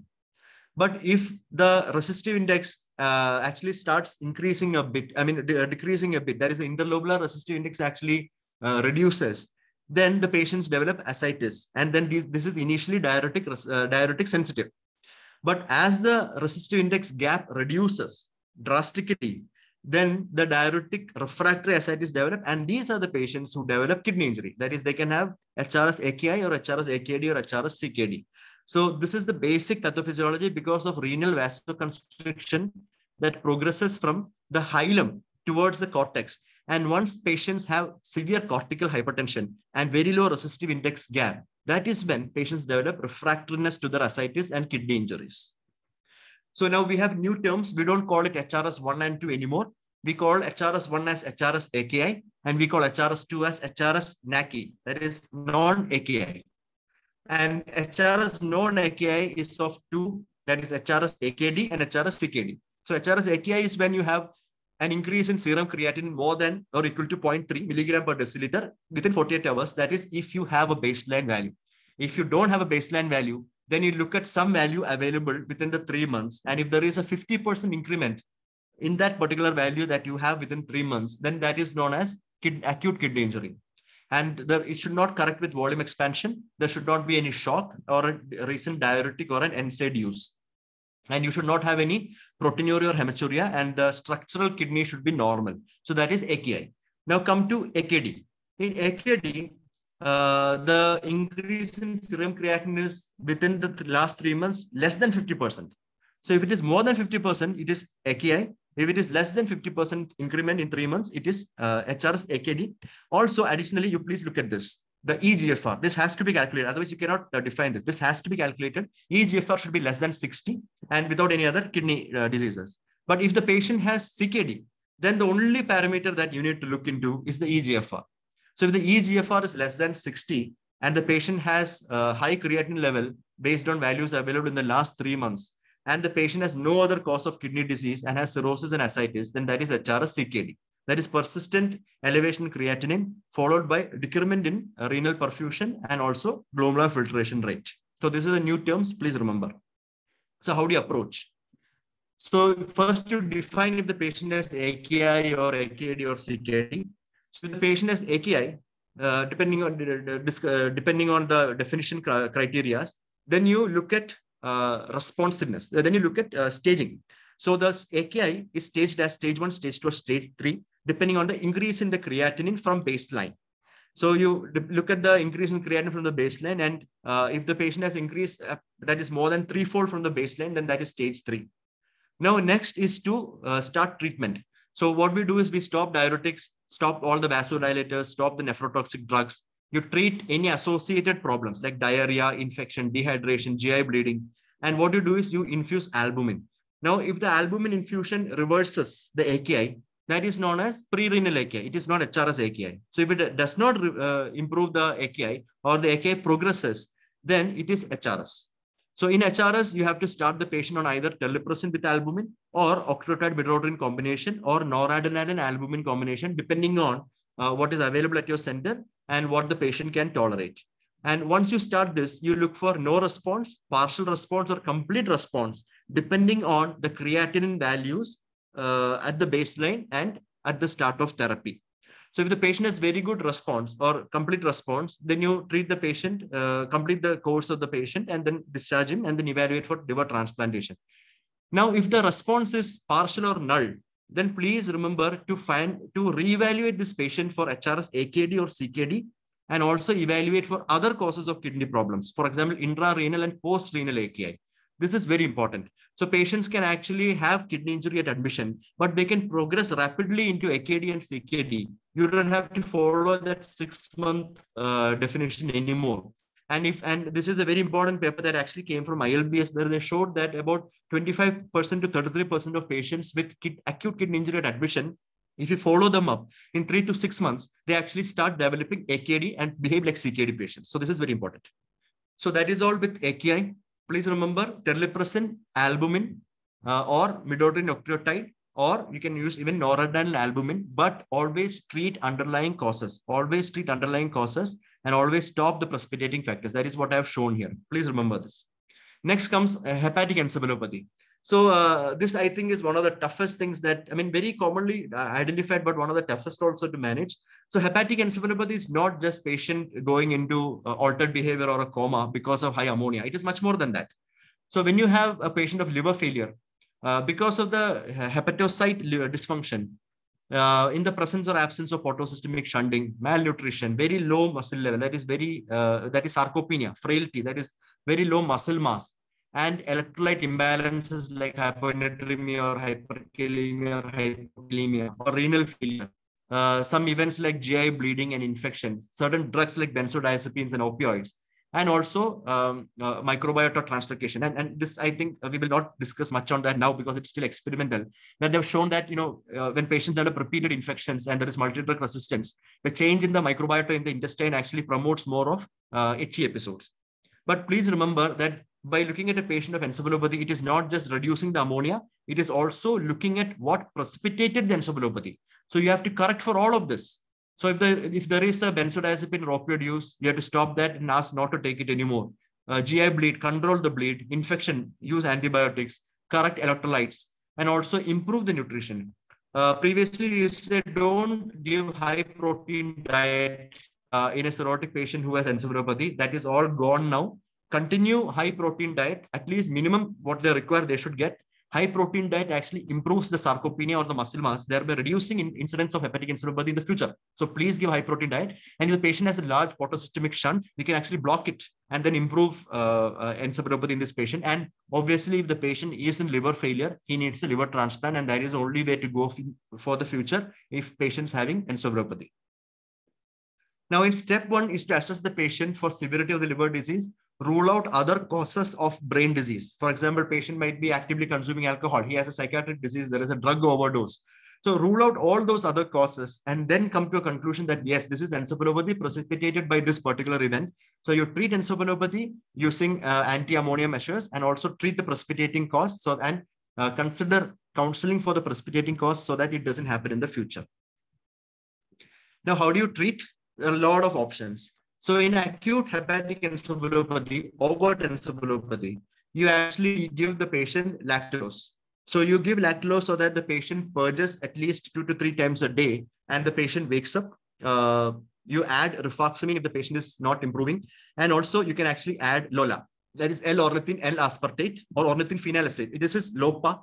Ornithine phenylacetate is currently under trials. And I think the first uh, trial actually showed a negative outcome. But Lola has very good evidence that it will improve encephalopathy in patients with acute overt encephalopathy. This is this data is from India by Professor Sandeep Sidhu in uh, Ludhiana, where he showed that addition of uh, infusion of Lola in patients with acute overt encephalopathy with standard of care for about five days, uh, that is 30 grams per day or 18 to 24 hours, actually improves uh, recovery and causes early recovery. It does not affect the survival though. And then what you do is, uh, if patients are still having uh, severe hepatic encephalopathy in hospital. There are other uh, measures like addition of albumin, uh, giving glutamine synthetase replacement. These are all experimental. We don't do it in routine practice. Or you can actually give an extracorporeal albumin dialysis to reduce the ammonia burden and thereby improving the encephalopathy. But these are all expensive. Uh, most of the patients will improve with uh, correction of precipitating factors, correction of sepsis, dyslipidemia correction, correction, and also use of rifaximin and lactulose. Now, always uh, remember to correct for the muscle mass. Look for frailty, look for sarcopenia correct that with nutritional supplementation and also add branch chain amino acids. This is very important. You add a branch chain amino acid rich snack in the night that greatly improves patient's outcome in cirrhosis with respect to hepatic encephalopathy. So advanced encephalopathy, that is grade three or four, you have to admit to the ICU. And most of these patients may require intubation if they are going into hepatic coma. So that you have to take care of and also look at all the precipitating factors and treat. And once the patient is fully evaluated and you don't see any precipitating factors, you know, you don't see any dyslipidemia, you just see very high ammonia, but no infection, no uh, hypokalemia, no hyponatremia, nothing, no bleeds, but the patient is in deep hepatic coma. Always uh, remember to look at large portosystemic shunts. And if you have large portosystemic shunts, always consider embolizing the portosystemic shunts because studies have shown that closure of large portosystemic shunts improve patients' encephalopathy recurrence, I mean, reduce the recurrence and also improve clinical outcomes. So this is an example from our unit where we actually di diagnosed patients with severe recurrent hepatic encephalopathy or persistent hepatic encephalopathy of having underlying large portosystemic shunts. So we either use a balloon to occlude it, which is no more done now because balloon takes a lot of time. You have to inject sclerosant and wait, and it should be in the cath lab for about six to eight hours, which is too tedious. What we do now is to either put coils or use a plug. That is what is shown here. Yeah. This is the plug here, and this is the coil. So putting coils and putting plugs, actually the procedure gets over fast. You can have complete shunt occlusion and the patients can be discharged much earlier for hepatic encephalopathy. Now comes hepatic hydrothorax. I think uh, it's easier to uh, treat ascites than it is easier to treat a hydrothorax, even though both are the same. I mean, they, both are the same complications of the same event. But in hydrothorax, you have to uh, a small note on how it develops. So you have uh, ascites going directly to the hepatic, uh, I mean, to, to the uh, pleural space because of formation of certain defects or blebs in the diaphragmatic region. So that is what this classification shows, which I've done, shown below. There is type 1, there is no visible defect. To type 4, there is multiple fenestrations in the diaphragm. And the fluid in the, in the abdomen will go up because of a difference in transthoracic pressure gradient. Also, uh, severe azygous vein hypertension. So this is something new. Severe has azygous vein hypertension due to either portosystemic shunting or due to some shunting within the uh, lung, that is intrapulmonary shunting, can actually lead to increase in uh, hepatic hydrothorax. So this is another pathogenesis that we identify uh, as part of uh, you know, hepatic hydrothorax formation. That is not just the ascites traveling up, it is actually related to portal hypertension within the lung and presence of portosystemic shunts also. So how do you manage? You manage it the same way you manage ascites. Only thing is that uh, hepatic hydrothorax actually has a poorer prognosis than uh, ascites when it becomes refractory. So these patients should be ideally evaluated for TIPS or transplantation much earlier. And if they are not good candidates for liver transplantation or TIPS, then the only option is to repeatedly do thoracocentesis. You can actually do um, uh, you can actually do pleurodesis or you can actually put in a, a, chest tube, which is actually not recommended. Put in a chest tube for symptom relief in patients with rapid collection of hepatic hydrothorax. But the problem is that you consider the chest tube drainage only in patients who you think are not going to make it more than six months. So they have a very short-term survival and they are on extreme pain and palliative care. These patients, for improving quality of life and improving uh, their symptoms, you put in a drain. Not every patient with a chest, uh, with a hydrothorax, which is recurrent or refractory, requires a drain. Only those where you consider them as having very short survival, please do it. Otherwise, use of hepatic, uh, use of hepatic, uh, use of chest drains in hepatic hydrothorax has only led to more death. So that is that is published in 1980s, where you can actually see that if the patient has rapidly collecting hydrothorax. If the patient is a transplant candidate or a TIPS candidate, please do that. Don't put a drain. Only for immediate symptomatic relief can you put a drain, but please remove it as early as possible. Do not keep it. Now comes uh, two other uh, rare but important complications that is uh, hepatopulmonary syndrome and portopulmonary hypertension. So let us look at hepatopulmonary syndrome first. So this is the uh, pathogenesis of both. Uh, please don't mind all the molecular stuff that is in the in this image. This is for uh, I think students who are writing theory exams. They have to draw this. Otherwise, for us, it's not required. But please know this: that hepatopulmonary syndrome and portopulmonary hypertension, even though the uh, initiating events are all the same, the outcome that is the main pathological event is very different. So, if you look at hepatopulmonary syndrome, patients can actually have something known as uh, IPVD. So, IPVD is intrapulmonary uh, vascular dilatations. So, presence of intrapulmonary vascular dilatations is very common in cirrhosis patients, it does not mean that they have HPS. So for them to have HPS, they should have clinical features of HPS and investigational features of HPS. So just because you do a saline contrast study or an angiographic study and you find intrapulmonary vascular dilatations, that does not mean there is HPS. Please look at the criteria, which I'm showing you in the next slide, and then uh, diagnose the patient as HPS. So in a patient of HPS, there is a VQ mismatch. Uh, there is right to left shunting and there is decreased diffusion capacity, which can all be identified on the ABG. So you have to do an ABG and then look at clinical presence of clubbing or not. And if the ABG and the clinical manifestations uh, are, uh, you know, uh, suggestive, only then you said there is hepatopulmonary syndrome, not otherwise. Now look at portopulmonary hypertension. Everything else is the same, but except in these patients, they have extensive vasoconstriction. There is thrombus formation and platelet aggregation within the lung microenvironment. So that is what that is that leads to vascular remodeling, right heart strain, and that is how these patients develop portopulmonary hypertension. So in portopulmonary hypertension, to identify these patients actually require cardiac catheterization. Without a cardiac catheterization, you cannot uh, diagnose portopulmonary hypertension, and this is very important. Just by doing an echo, you cannot diagnose. So let us go to hepatopulmonary syndrome. In hepatopulmonary syndrome, uh, this is the latest EASL guideline where they actually say that if the patient has tachypnea or polypnea or clubbing or cyanosis, uh, then HPS should be suspected. The next step is actually to do an ABG. So the ABG should be done in an upright position on room air. So you don't need to do an ABG lying down, getting up, sitting up, nothing like that. Just do an ABG in upright position on room air. And for patients with, uh, uh, you know, the saturation, oxygen saturation less than 96%, uh, that is on pulse oximetry. Uh, the ABG is the next step. So somebody has clinical features of uh, tachypnea, clubbing, etc. You do a uh, SpO2, that is do a pulse oximetry. The pulse oximetry shows uh, SpO2 less than 96. Next step is to do ABG, sitting position, ambient, ambient uh, room air. And if the ABG actually shows that the PaO2 is lower than 80, and the uh, PA, that is the uh, alveolar arterial oxidation gradient, that is PaO2 is more than equal to 15 while breathing ambient air. This means that there is uh, hepatopulmonary syndrome. In adults, more than 65 years of age, this PaO2 gradient should be, cutoff should be 20, not 15. So less than 65, it is 15. More than uh, 65 years, it is 20. So once this is uh, done, you can say that, you know, this patient may have HPS. Now, next is to do a microbubble study. So you use a saline contrast echo. And in saline contrast echo, you actually showed that in the absence of intracardiac shunting, there is presence of intrapulmonary vascular dilatations and intrapulmonary shunting. That is, then you can actually say that there is uh, HPS. So what about a, a, a, a mass scan that is a, a, a tagged uh, scan? This is only complementary. This, this shows the extent or the severity of the shunting. It does not actually confirm the shunting or type of shunting. It can even be intracardiac shunting.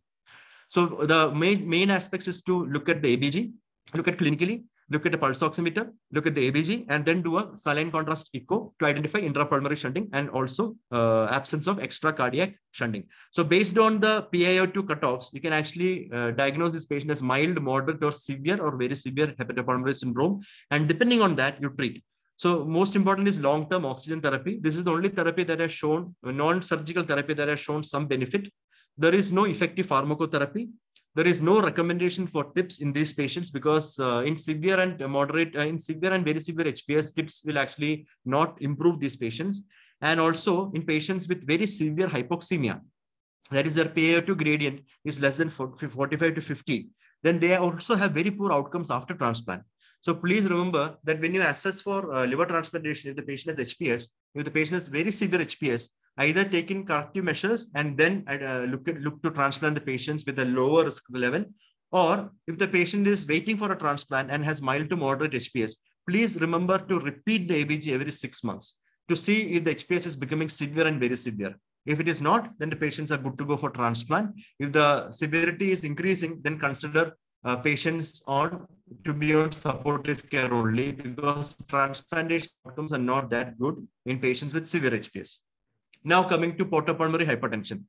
So in portopulmonary hypertension, if the patient has dyspnea or uh, exercise intolerance, etc., if you rule out other causes of uh, heart diseases, uh, do a, uh, a, thoracic echography, uh, echocardiography, and you find features of pulmonary arterial hypertension, then the next step is to go for a right heart catheterization. So you have to do an angio angiographic assessment.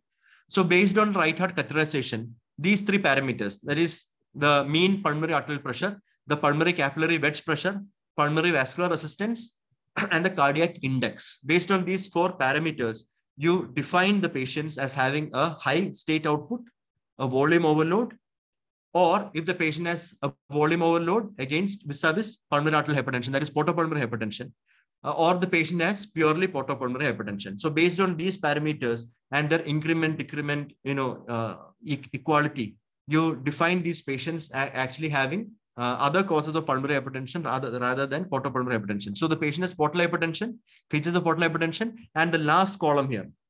And this last column is present. Then you say that the patient has portopulmonary hypertension. That is mean arterial pressure more than 25, uh, capillary wedge pressure is less than 15, and the pulmonary vascular resistance is more than 240 times. So this should be calculated. And once the patient is having uh, confirmed portopulmonary hypertension, then you look at the severity based on the mean pulmonary arterial pressure, that is MPAP. so the MPAP is less than 35, uh, more than 35, less than 45, or more than 45. Depending on that, there is mild, moderate, and severe portopulmonary hypertension. Severe portopulmonary hypertension patients cannot be transplanted because they have very high chances of intracardiac, uh, intra-op events and immediate post-op events in the form of cardiac arrest and infections and a lot of other problems. So please monitor those patients and give them supportive care. So to summarize, uh, in uh, hepatopulmonary syndrome, uh, you have a lot of options, but only supplemental oxygen is the best non-surgical option. In those patients with mild to moderate HPS, transplantation is the best option. There are a lot of other uh, uh, options available. For example, if you have uh, patients with uh, severe HPS not responding to oxygen therapy and are not good candidates for transplantation, please assess for angiographic evidence of intrapulmonary shunting or large portosystemic shunts and and uh, you know occluding the portosystemic shunts or embolizing the uh, intrapulmonary shunts actually improve the patient's oxygenation. So these are also options for hps but otherwise uh, lot of medical options that we use in our day-to-day practice is not useful. I think a lot of patients are on garlic extracts. Garlic extracts improves oxygenation, but it's only for short term and it's only very anecdotal studies. The problem is that if you give garlic for a longer duration, patients have the risk of developing drug-induced liver injury. So garlic is a herb which can actually promote drug-induced liver injury. So please be careful in using this uh, in your patients for longer duration studies on rifaximin, norfloxacin, all available in the literature, but none of them actually shows good long-term outcomes. When it comes to portopulmonary hypertension, again, TIPS is contraindicated in moderate to severe. uh, there is no benefit of anticoagulation or calcium channel blockers. Uh, in patients who have very severe portopulmonary hypertension, please stop beta blockers and you know continue with banding ligation for varices because beta blockers actually worsen uh, in the severe group uh, clinical events in patients with severe portopulmonary hypertension. Lot of other options like bosentan, endothelial receptor antagonists, phosphodiesterase 5 inhibitors. These are all available in the in the you know it's all in the literature, but uh, there are no recommendations to using it. You may use it or not use it. Not using it will not actually change anything. May using it may actually improve, but does not sustain. And it can actually also lead to some adverse event because of the unnecessary use of drugs. So please remember that. So finally, uh, when you look at patients with portal hypertension and cirrhosis, do not aim to cure it. You know, we have to also aim to, uh, you should also aim to care, you know, treat to care. So a lot of patients that you see, I'm sure that everybody will not go for a transplant. It's not easy. So those patients who have uh, no options for a transplant, who are poor candidates for transplant, please look at specialized treatments like shunt embolization, TIPS, uh, uh, albumin dialysis, or, uh, you know, um, uh, uh, specific procedures which can actually improve their clinical outcomes and not improve their overall picture. So you can actually go for these specialized treatments targeting portal hypertension to improve the quality of life of these patients, even though you may not actually give them a long life. So please remember, all the things that we discussed are not only just for treatments, these are also for palliation. And with this, I end my uh, talk for the day. Uh, thank you very much for your patient listening. Thank you, Dr. Uh, Dr. Abby. Uh, it was a wonderful presentation. I mean, I have been practicing. Uh, I'm, I'm the liver transplant surgeon, so obviously there were so many so many points that you know I was like, okay, so this patient is, was not supposed to come to a liver transplant surgeon at all. So, but yeah, I, I got to know, I got to learn a lot, uh, and uh, it was a very very crisp and very very well made presentation. So really, thank you. And uh, before we go on to, to the discussion, we have uh, our panelists. So um, I, you know, before we go to the, the to the, the panelists, I would just ask Dr. Saista Amin. She is the pediatric hepatologist.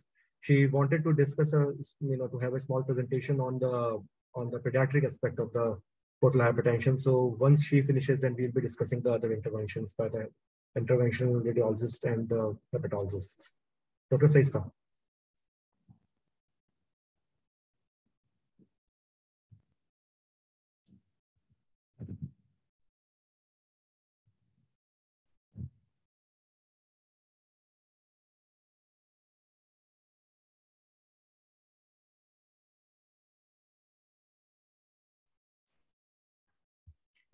Uh, hi, good morning. Are you able to see my screen and hear me? Yes, yes, yes, yes. Can you can you please make it full screen? Or... Yes. Yes.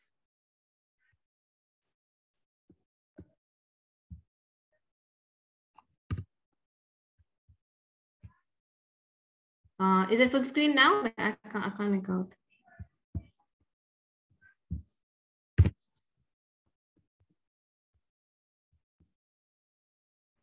Okay, um, I'll start. Uh, thank you so much, Dr. Philip. That was an uh, amazing presentation with so much information. Um, as we all know that all our pediatric data is uh, extrapolated so from the adult data. Yeah. I'm so sorry, Dr. Saista. Uh, your screen, I, I, think you are you're, you're sharing the non, you are sharing the wrong screen. You are, you have to reshare the one which is uh, the full screen version. Uh, one second.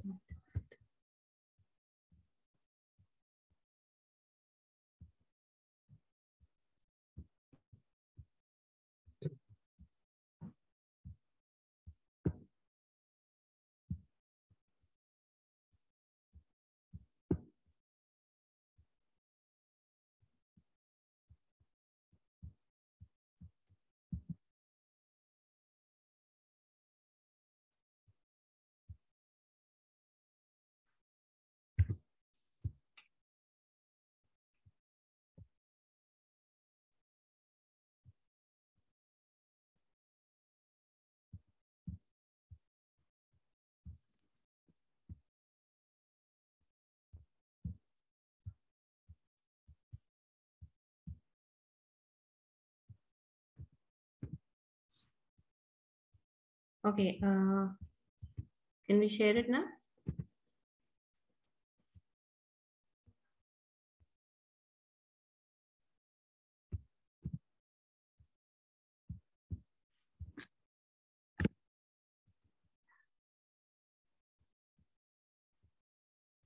Please share the screen. I, I, we are not able to see the screen right now. It's not shared.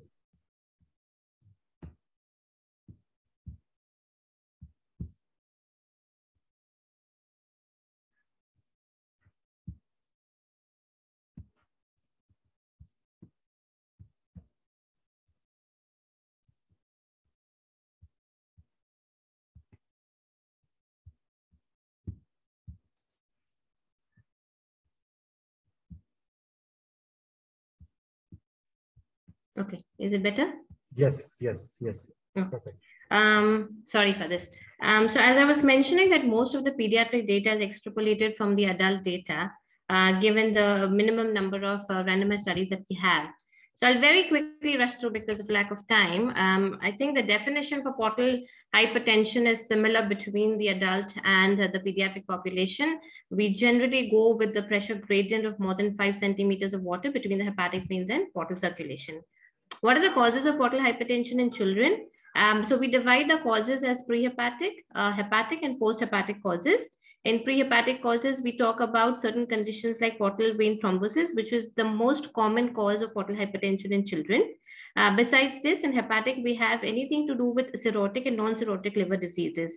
Most common cirrhotic being biliary atresia, which is the number one cause of cirrhotic liver disease in children. Post-hepatic, we have renal veno-occlusive disease or Budd-Chiari syndrome, which can present with portal hypertension. Um, certain recommendations, which are a little different from uh, uh, adult recommendations, um, uh, basically try to keep the hemoglobin uh, concentration between 7 to 8 for pediatric population in children with portal hypertension. Um, the drugs that have been tried in children uh, for uh, prophylaxis, um, octreotide is something which is commonly used during the acute bleeding episode. And later for prophylaxis, we recommend the child to be on propranolol. Antibiotics, there is no data to show that you need to give antibiotics immediately. Um, however, if there is a suspicion of uh, sepsis, early antibiotics should be used in these children. Endoscopy in adults generally is said, as doctor already mentioned, that it's within 12 hours. For pediatric population, once we have a stabilization of the patient and um, try to do it within 24 hours of presentation.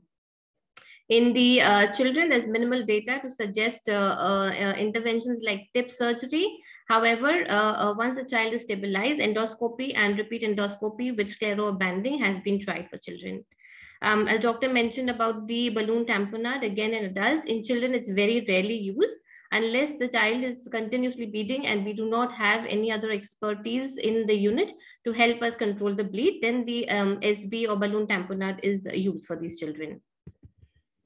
So as Dr. mentioned about uh, diagnosis, I'll quickly say fibroscan in pediatric population is still not uh, recommended because of the um, lack of expertise and the inter-observer variation, which we see in the findings. Um, pressure gradient to measure again in children is very difficult, so we do not do that.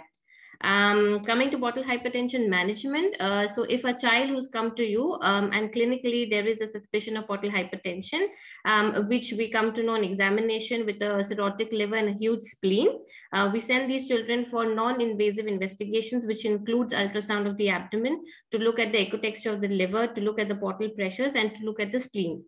Uh, on lab parameters, we look at the hemoglobin, we look at the WBC count, and we look at low platelet count. And if there's an underlying cirrhotic disease, most commonly biliary atresia, we know that they'll end up with complications of portal hypertension. If they are asymptomatic, we keep them under regular monitoring. We see them in clinics almost every three to six months and monitor them with ultrasound, clinical examination, and lab parameters. However, if the child is showing worsening liver disease or worsening parameters, they should be taken up for a surveillance endoscopy. The upper GI endoscopy is offered to these patients and then they are monitored for progression. So depending on what you find in an asymptomatic child, if endoscopy is not showing any varices or low risk, then we do not do any intervention. We monitor the child every uh, six months to one year, depending on the first endoscopy. However, if there is high risk varices, then a treatment is offered to the child um, to eradicate these varices and beta blockers uh, have been uh, started. So propranolol is the drug of choice for children, one milligram per kilogram per day, two divided doses. If a child is presented to you first time with a upper GI bleed, immediate resuscitation and emergency management is to be done. And that is uh, to start pharmacological therapy. We start octreotide in these children, a bolus dose followed by a maintenance uh, continuous infusion for these children at 1 to 2 mics per kg per hour, which helps in controlling the bleed. Once the child is stable, we take them for endoscopy and depending on the findings, the child is either undergone uh, endoscopic uh, sclerotherapy or a banding. And then the repeat, uh, uh, um, the endoscopies, as we say, has to be done every uh, six months if it is a grade two and every three months if it's a grade three. So we still follow this uh, uh, uh, kind of classification where we say grade one, grade two, and grade three, wherein the grade one is minimal uh, elevation above the surface and no active intervention is needed, just monitoring. Grade two is where you have tortuous, uh, tortuous veins seen, which are occupying less than one third of the lumen. And grade three are larger, which occupy more than one third of the lumen. Uh, benefits of sclero versus uh, band ligation. Uh, band ligation is always preferred over uh, sclerotherapy because of the lower uh, risk which is involved during the procedure and the fewer sessions which the child would need in future and the recurrence of uh, varices is the only thing which is higher in a band ligation compared to sclerotherapy. Um, expertise is required with band ligation if the uh, if the uh, endoscopist is not confident of doing a band, uh, giving the size of the child, then sclerotherapy would be recommended. So this is some pictures to show, as doctors already shown us earlier, uh, the band ligation, how it is done with the um, endoscope, and then the varix is sucked into the uh, band ligator, and the band is inserted. We generally uh, allow three to four bands at a time. We do not need to increase the number of bands. Uh, as for sclerotherapy, on the other diagram, you can see the needle and where the sclerosing agent is used. Uh, so normally we use in, a, use in our center ETO. Um, it is uh, generally 1 ml uh, in each uh, varix, maximum of 2 to 3 ml is used. And we do not try to do more than 3 uh, varix injections during one session. Uh, tips as doctor mentioned what it is to do basically to decrease the portal uh, pressures and decompress the system. Uh, a stent is placed through the IJV into the right hepatic vein and right branch of portal vein. Again, this is recommended in children who have uh, refractory bleeding where you're not able to control the bleed. Refractory ascites, we have children with Budd-Chiari syndrome who benefit with this procedure. However, uh, expertise is required and uh, not everyone is able to do these procedures in small size of children. Uh, I'm just going to very briefly mention about some shunt surgeries which are uh, being done for extrahepatic portal vein obstruction, uh, which is basically recommended in children to decompress the system and give them a better outcome. So mesorex shunt is one of them where you have the superior mesenteric with the, uh, the left mesenteric with the left portal vein, wherein there's decompression of the portal pressures while we are maintaining the circulation in the portal system as well as the mesenteric system. And this is another physiologic shunt which is created, a distal splenorenal shunt, which is again recommended in children, which is safe and has good outcome in children. Uh, liver transplantation uh, is uh, uh, uh increasing uh, in numbers now, given our children who are being identified with cirrhotic liver disease, portal hypertension complications. Um, these children who have refractory bleeding, refractory ascites not responding to treatment, come in with hepatic encephalopathy and other syndromes which doctor already mentioned, hepatopulmonary and portopulmonary syndrome. Now, hepatopulmonary syndrome for us is a known complication in long-standing cirrhotic liver disease. Children with biliary atresia who've had their first surgery as Kasai and are doing well over the years in the second decade, they may come in with presentation of hepatopulmonary syndrome. Um, these children are diagnosed basically on clinical parameters of hypoxemia as on blood gas will be documented. And then they have uh, um, echocardiography, a bubble echocardiography to confirm the findings. Um, these children do well with a liver transplant. Once the pressures and the cirrhotic liver is replaced with a normal healthy liver, the child improves significantly within a few weeks and does not require any more oxygen to maintain the saturations. Um, certain take-home points for pediatric um, cases would be uh, bleed is most common presentation of portal hypertension in children. Emergency management of upper GI bleed is uh, very critical. Uh, we need to keep these children in surveillance endoscopy program depending on the first finding so that we can prevent the recurrence of bleed. So if your uh, a child is having just grade uh, one and is doing well in the follow-up visits, you do not need to scope them immediately. You, you schedule them for a one-year surveillance endoscopy program. Uh, for children who are grade two, grade three, they will be seen earlier, three to six months for endoscopies.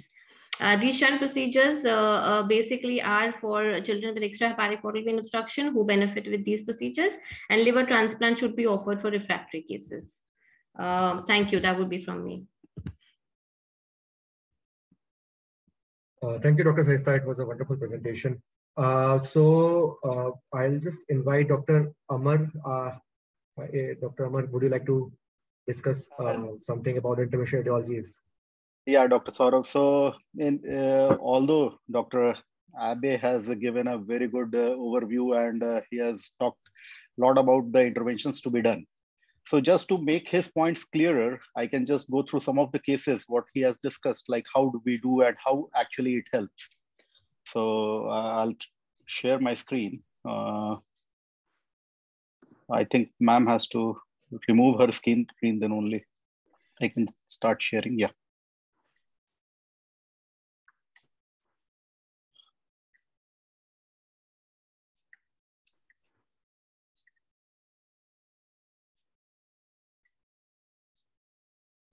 So hope uh, now the screen is visible to all of us. Yes, sir, it is. Yeah, perfect. So I'll be talking about tips, PARTO, and some of the shunt occlusions, which uh, Dr. Abe has nicely told like how to do and what to do. So first case would be a 40, 48 year old male, alcohol related CLD presented with uncontrolled variceal bleed and it is GOV2. So just to make uh, sure that GOV2 is the most notorious, like uh, I, we know that esophageal varices are very high pressure varices and uh, endoscopy, if failed, then TIPS nicely takes care of it. But GOV2 may or may not be associated with a shunt. And sometimes even if it is associated with a shunt, it is a high pressure system. Whereas if we talk about isolated gastric varices, then IGV1 is actually associated with a shunt and mostly it is a low pressure system. So treating a low pressure system is a entirely a different ball game than treating a high pressure system. So GOV2 is actually, it lies in between where you don't know whether to go in for a TIPS or you should do a uh, BRTO or PARTO procedure, that is retrograde occlusion and obturation and obliteration of the varices. So this patient had a HVPG of 26. So a very high HVPG, GOV2, and uh, as uh, Dr. Abbey told that any uh, patient with a HVPG of more than 20 uh, has a very poor prognosis.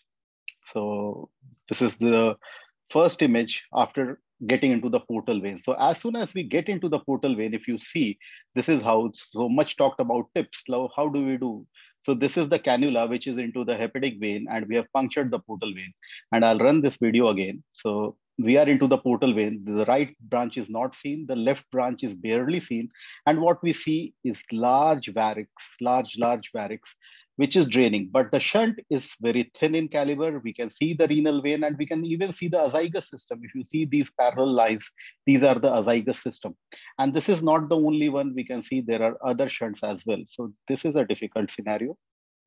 So we went into the shunt. We saw a very huge. So we started putting coil. We placed at least 10 coils. So 10 embolization coils were placed into it. And even after placing 10 embolization coil, this is how. So embolization coils actually do nothing in cirrhotic patients. Despite having a uh, fibers which are thrombogenic, they don't incite thrombosis in cirrhotic patients as fast as we want them to do. So we injected glue into it. This is how glue is being injected, you can see. And then multiple such injections were done. And after that, this was occluded. So there is some flow. So now the picture is uh, somewhat different. So previously it was a completely hepatofugal flow. We have made it a bit hepatopetal, but still there are many more gastric varices which are being feeded and the patient is actively bleeding. And we, if you see, you can see a Sengstaken tube over there, the big balloon lying over here. And despite this big balloon, the patient's bleed is uncontrolled. So what next? Going to the next varices, again, closing it with glue. So the picture much better, but still there is something over here. We see something over here.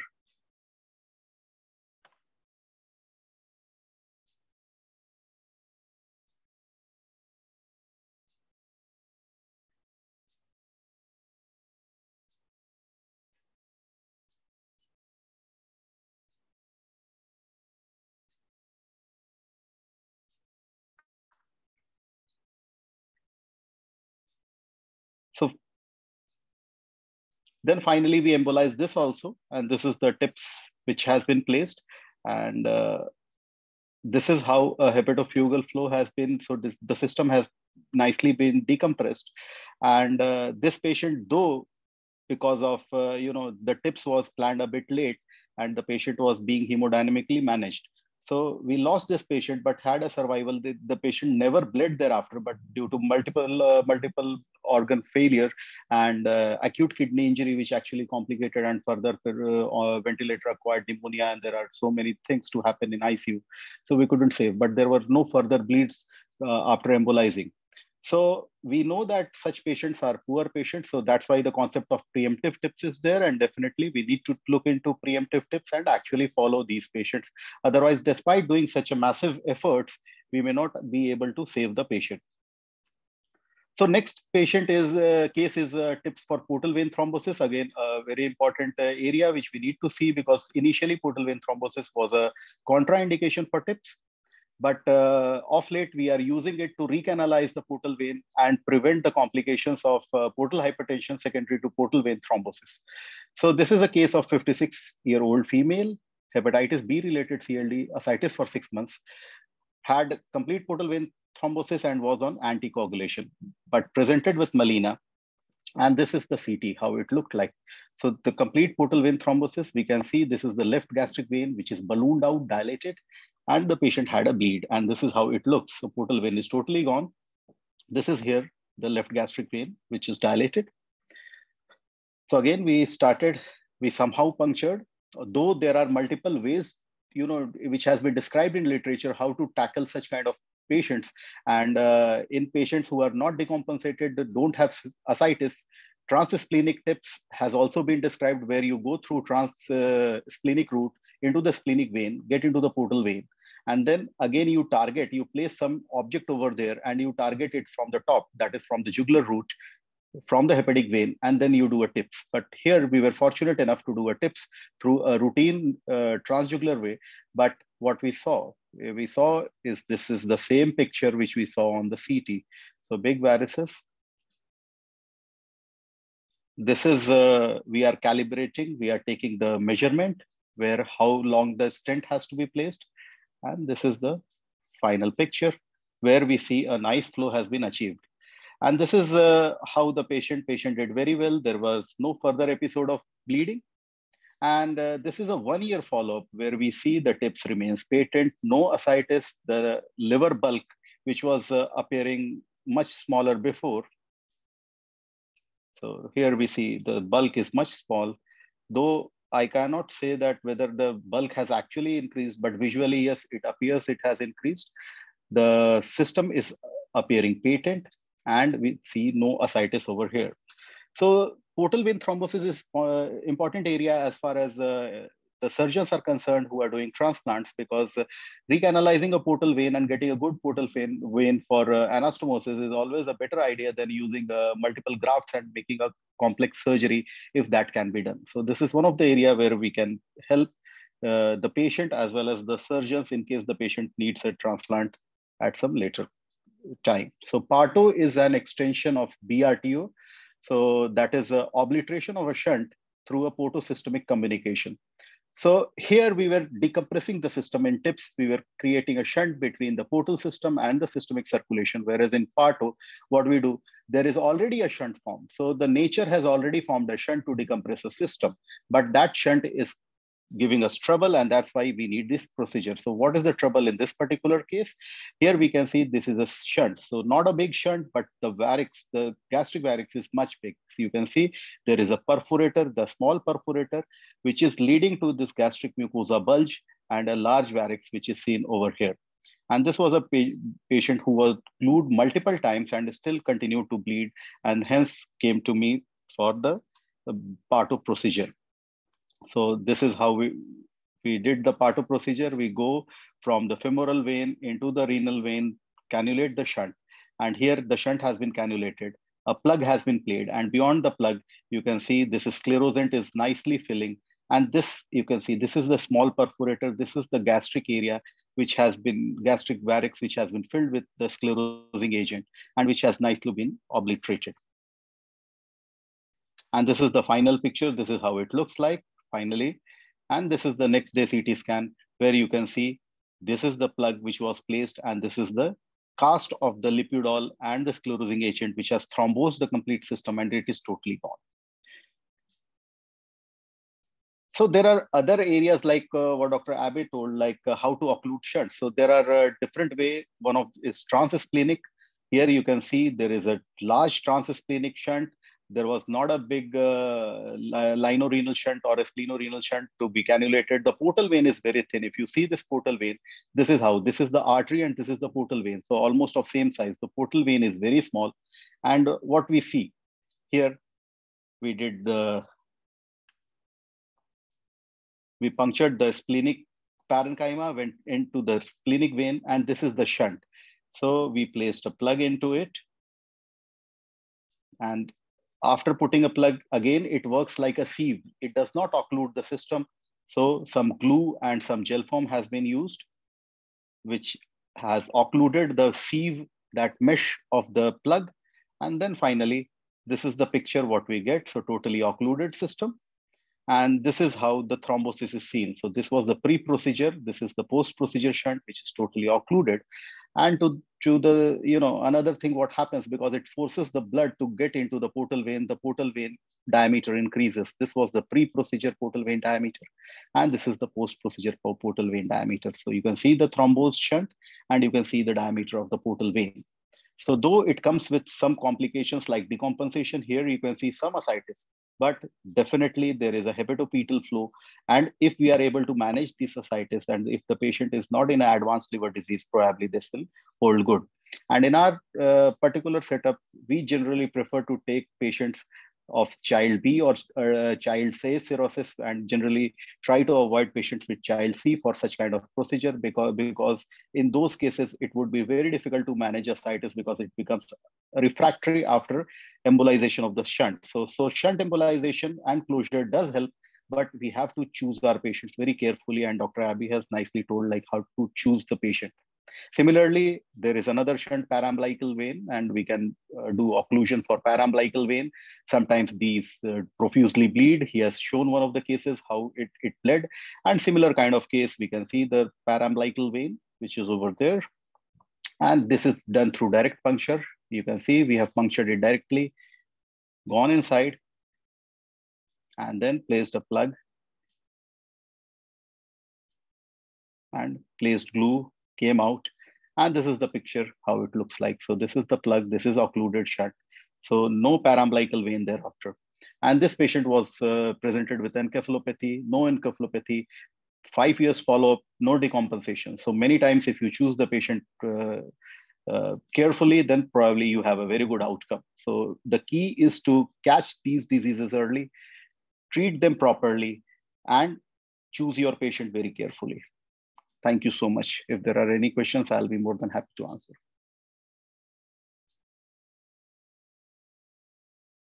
Thank you, Dr. Amar.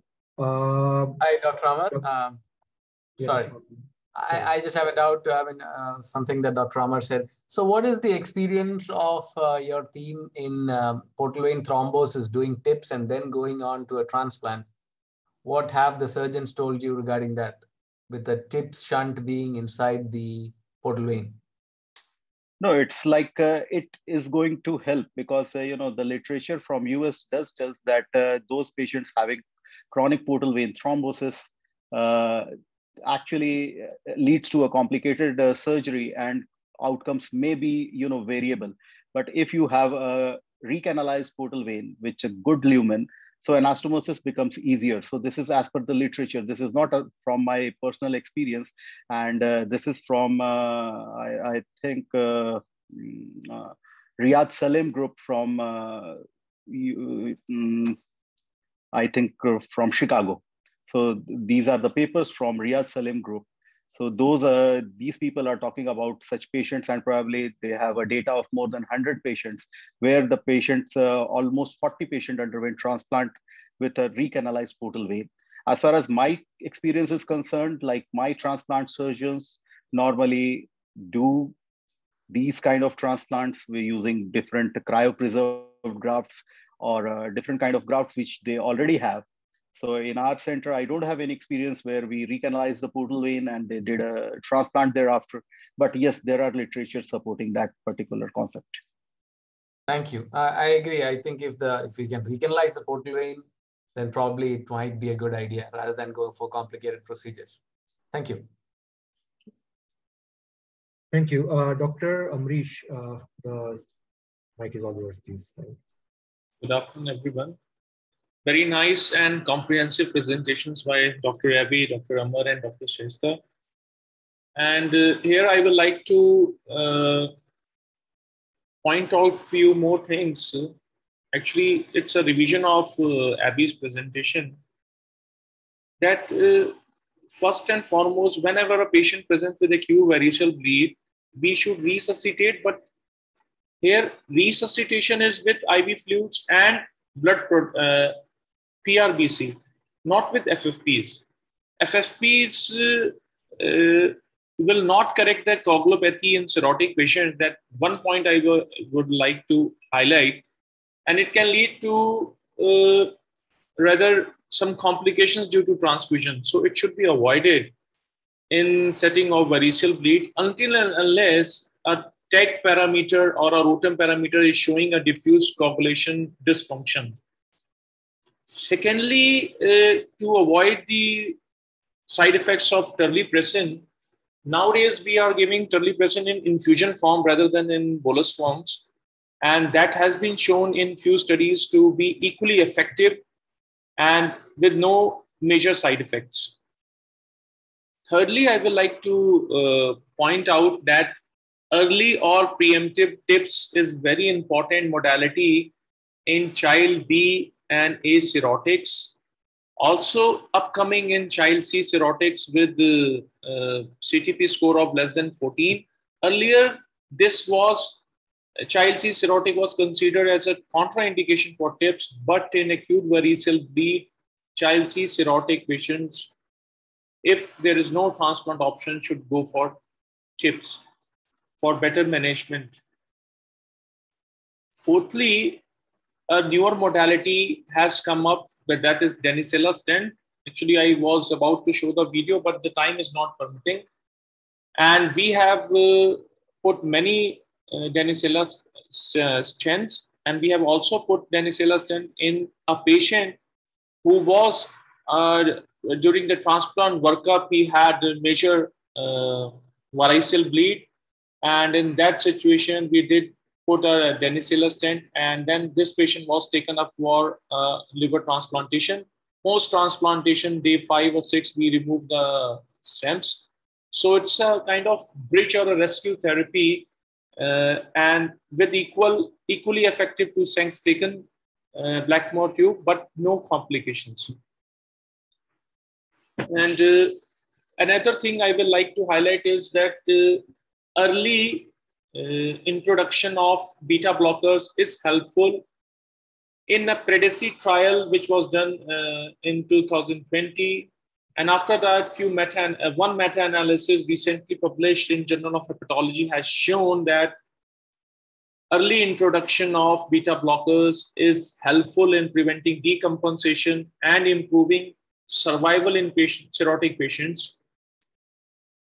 And uh, early introduction is in those patients you can give, you can make use of the fibroscan. And if the LSM is more than 25, you can safely introduce beta blockers.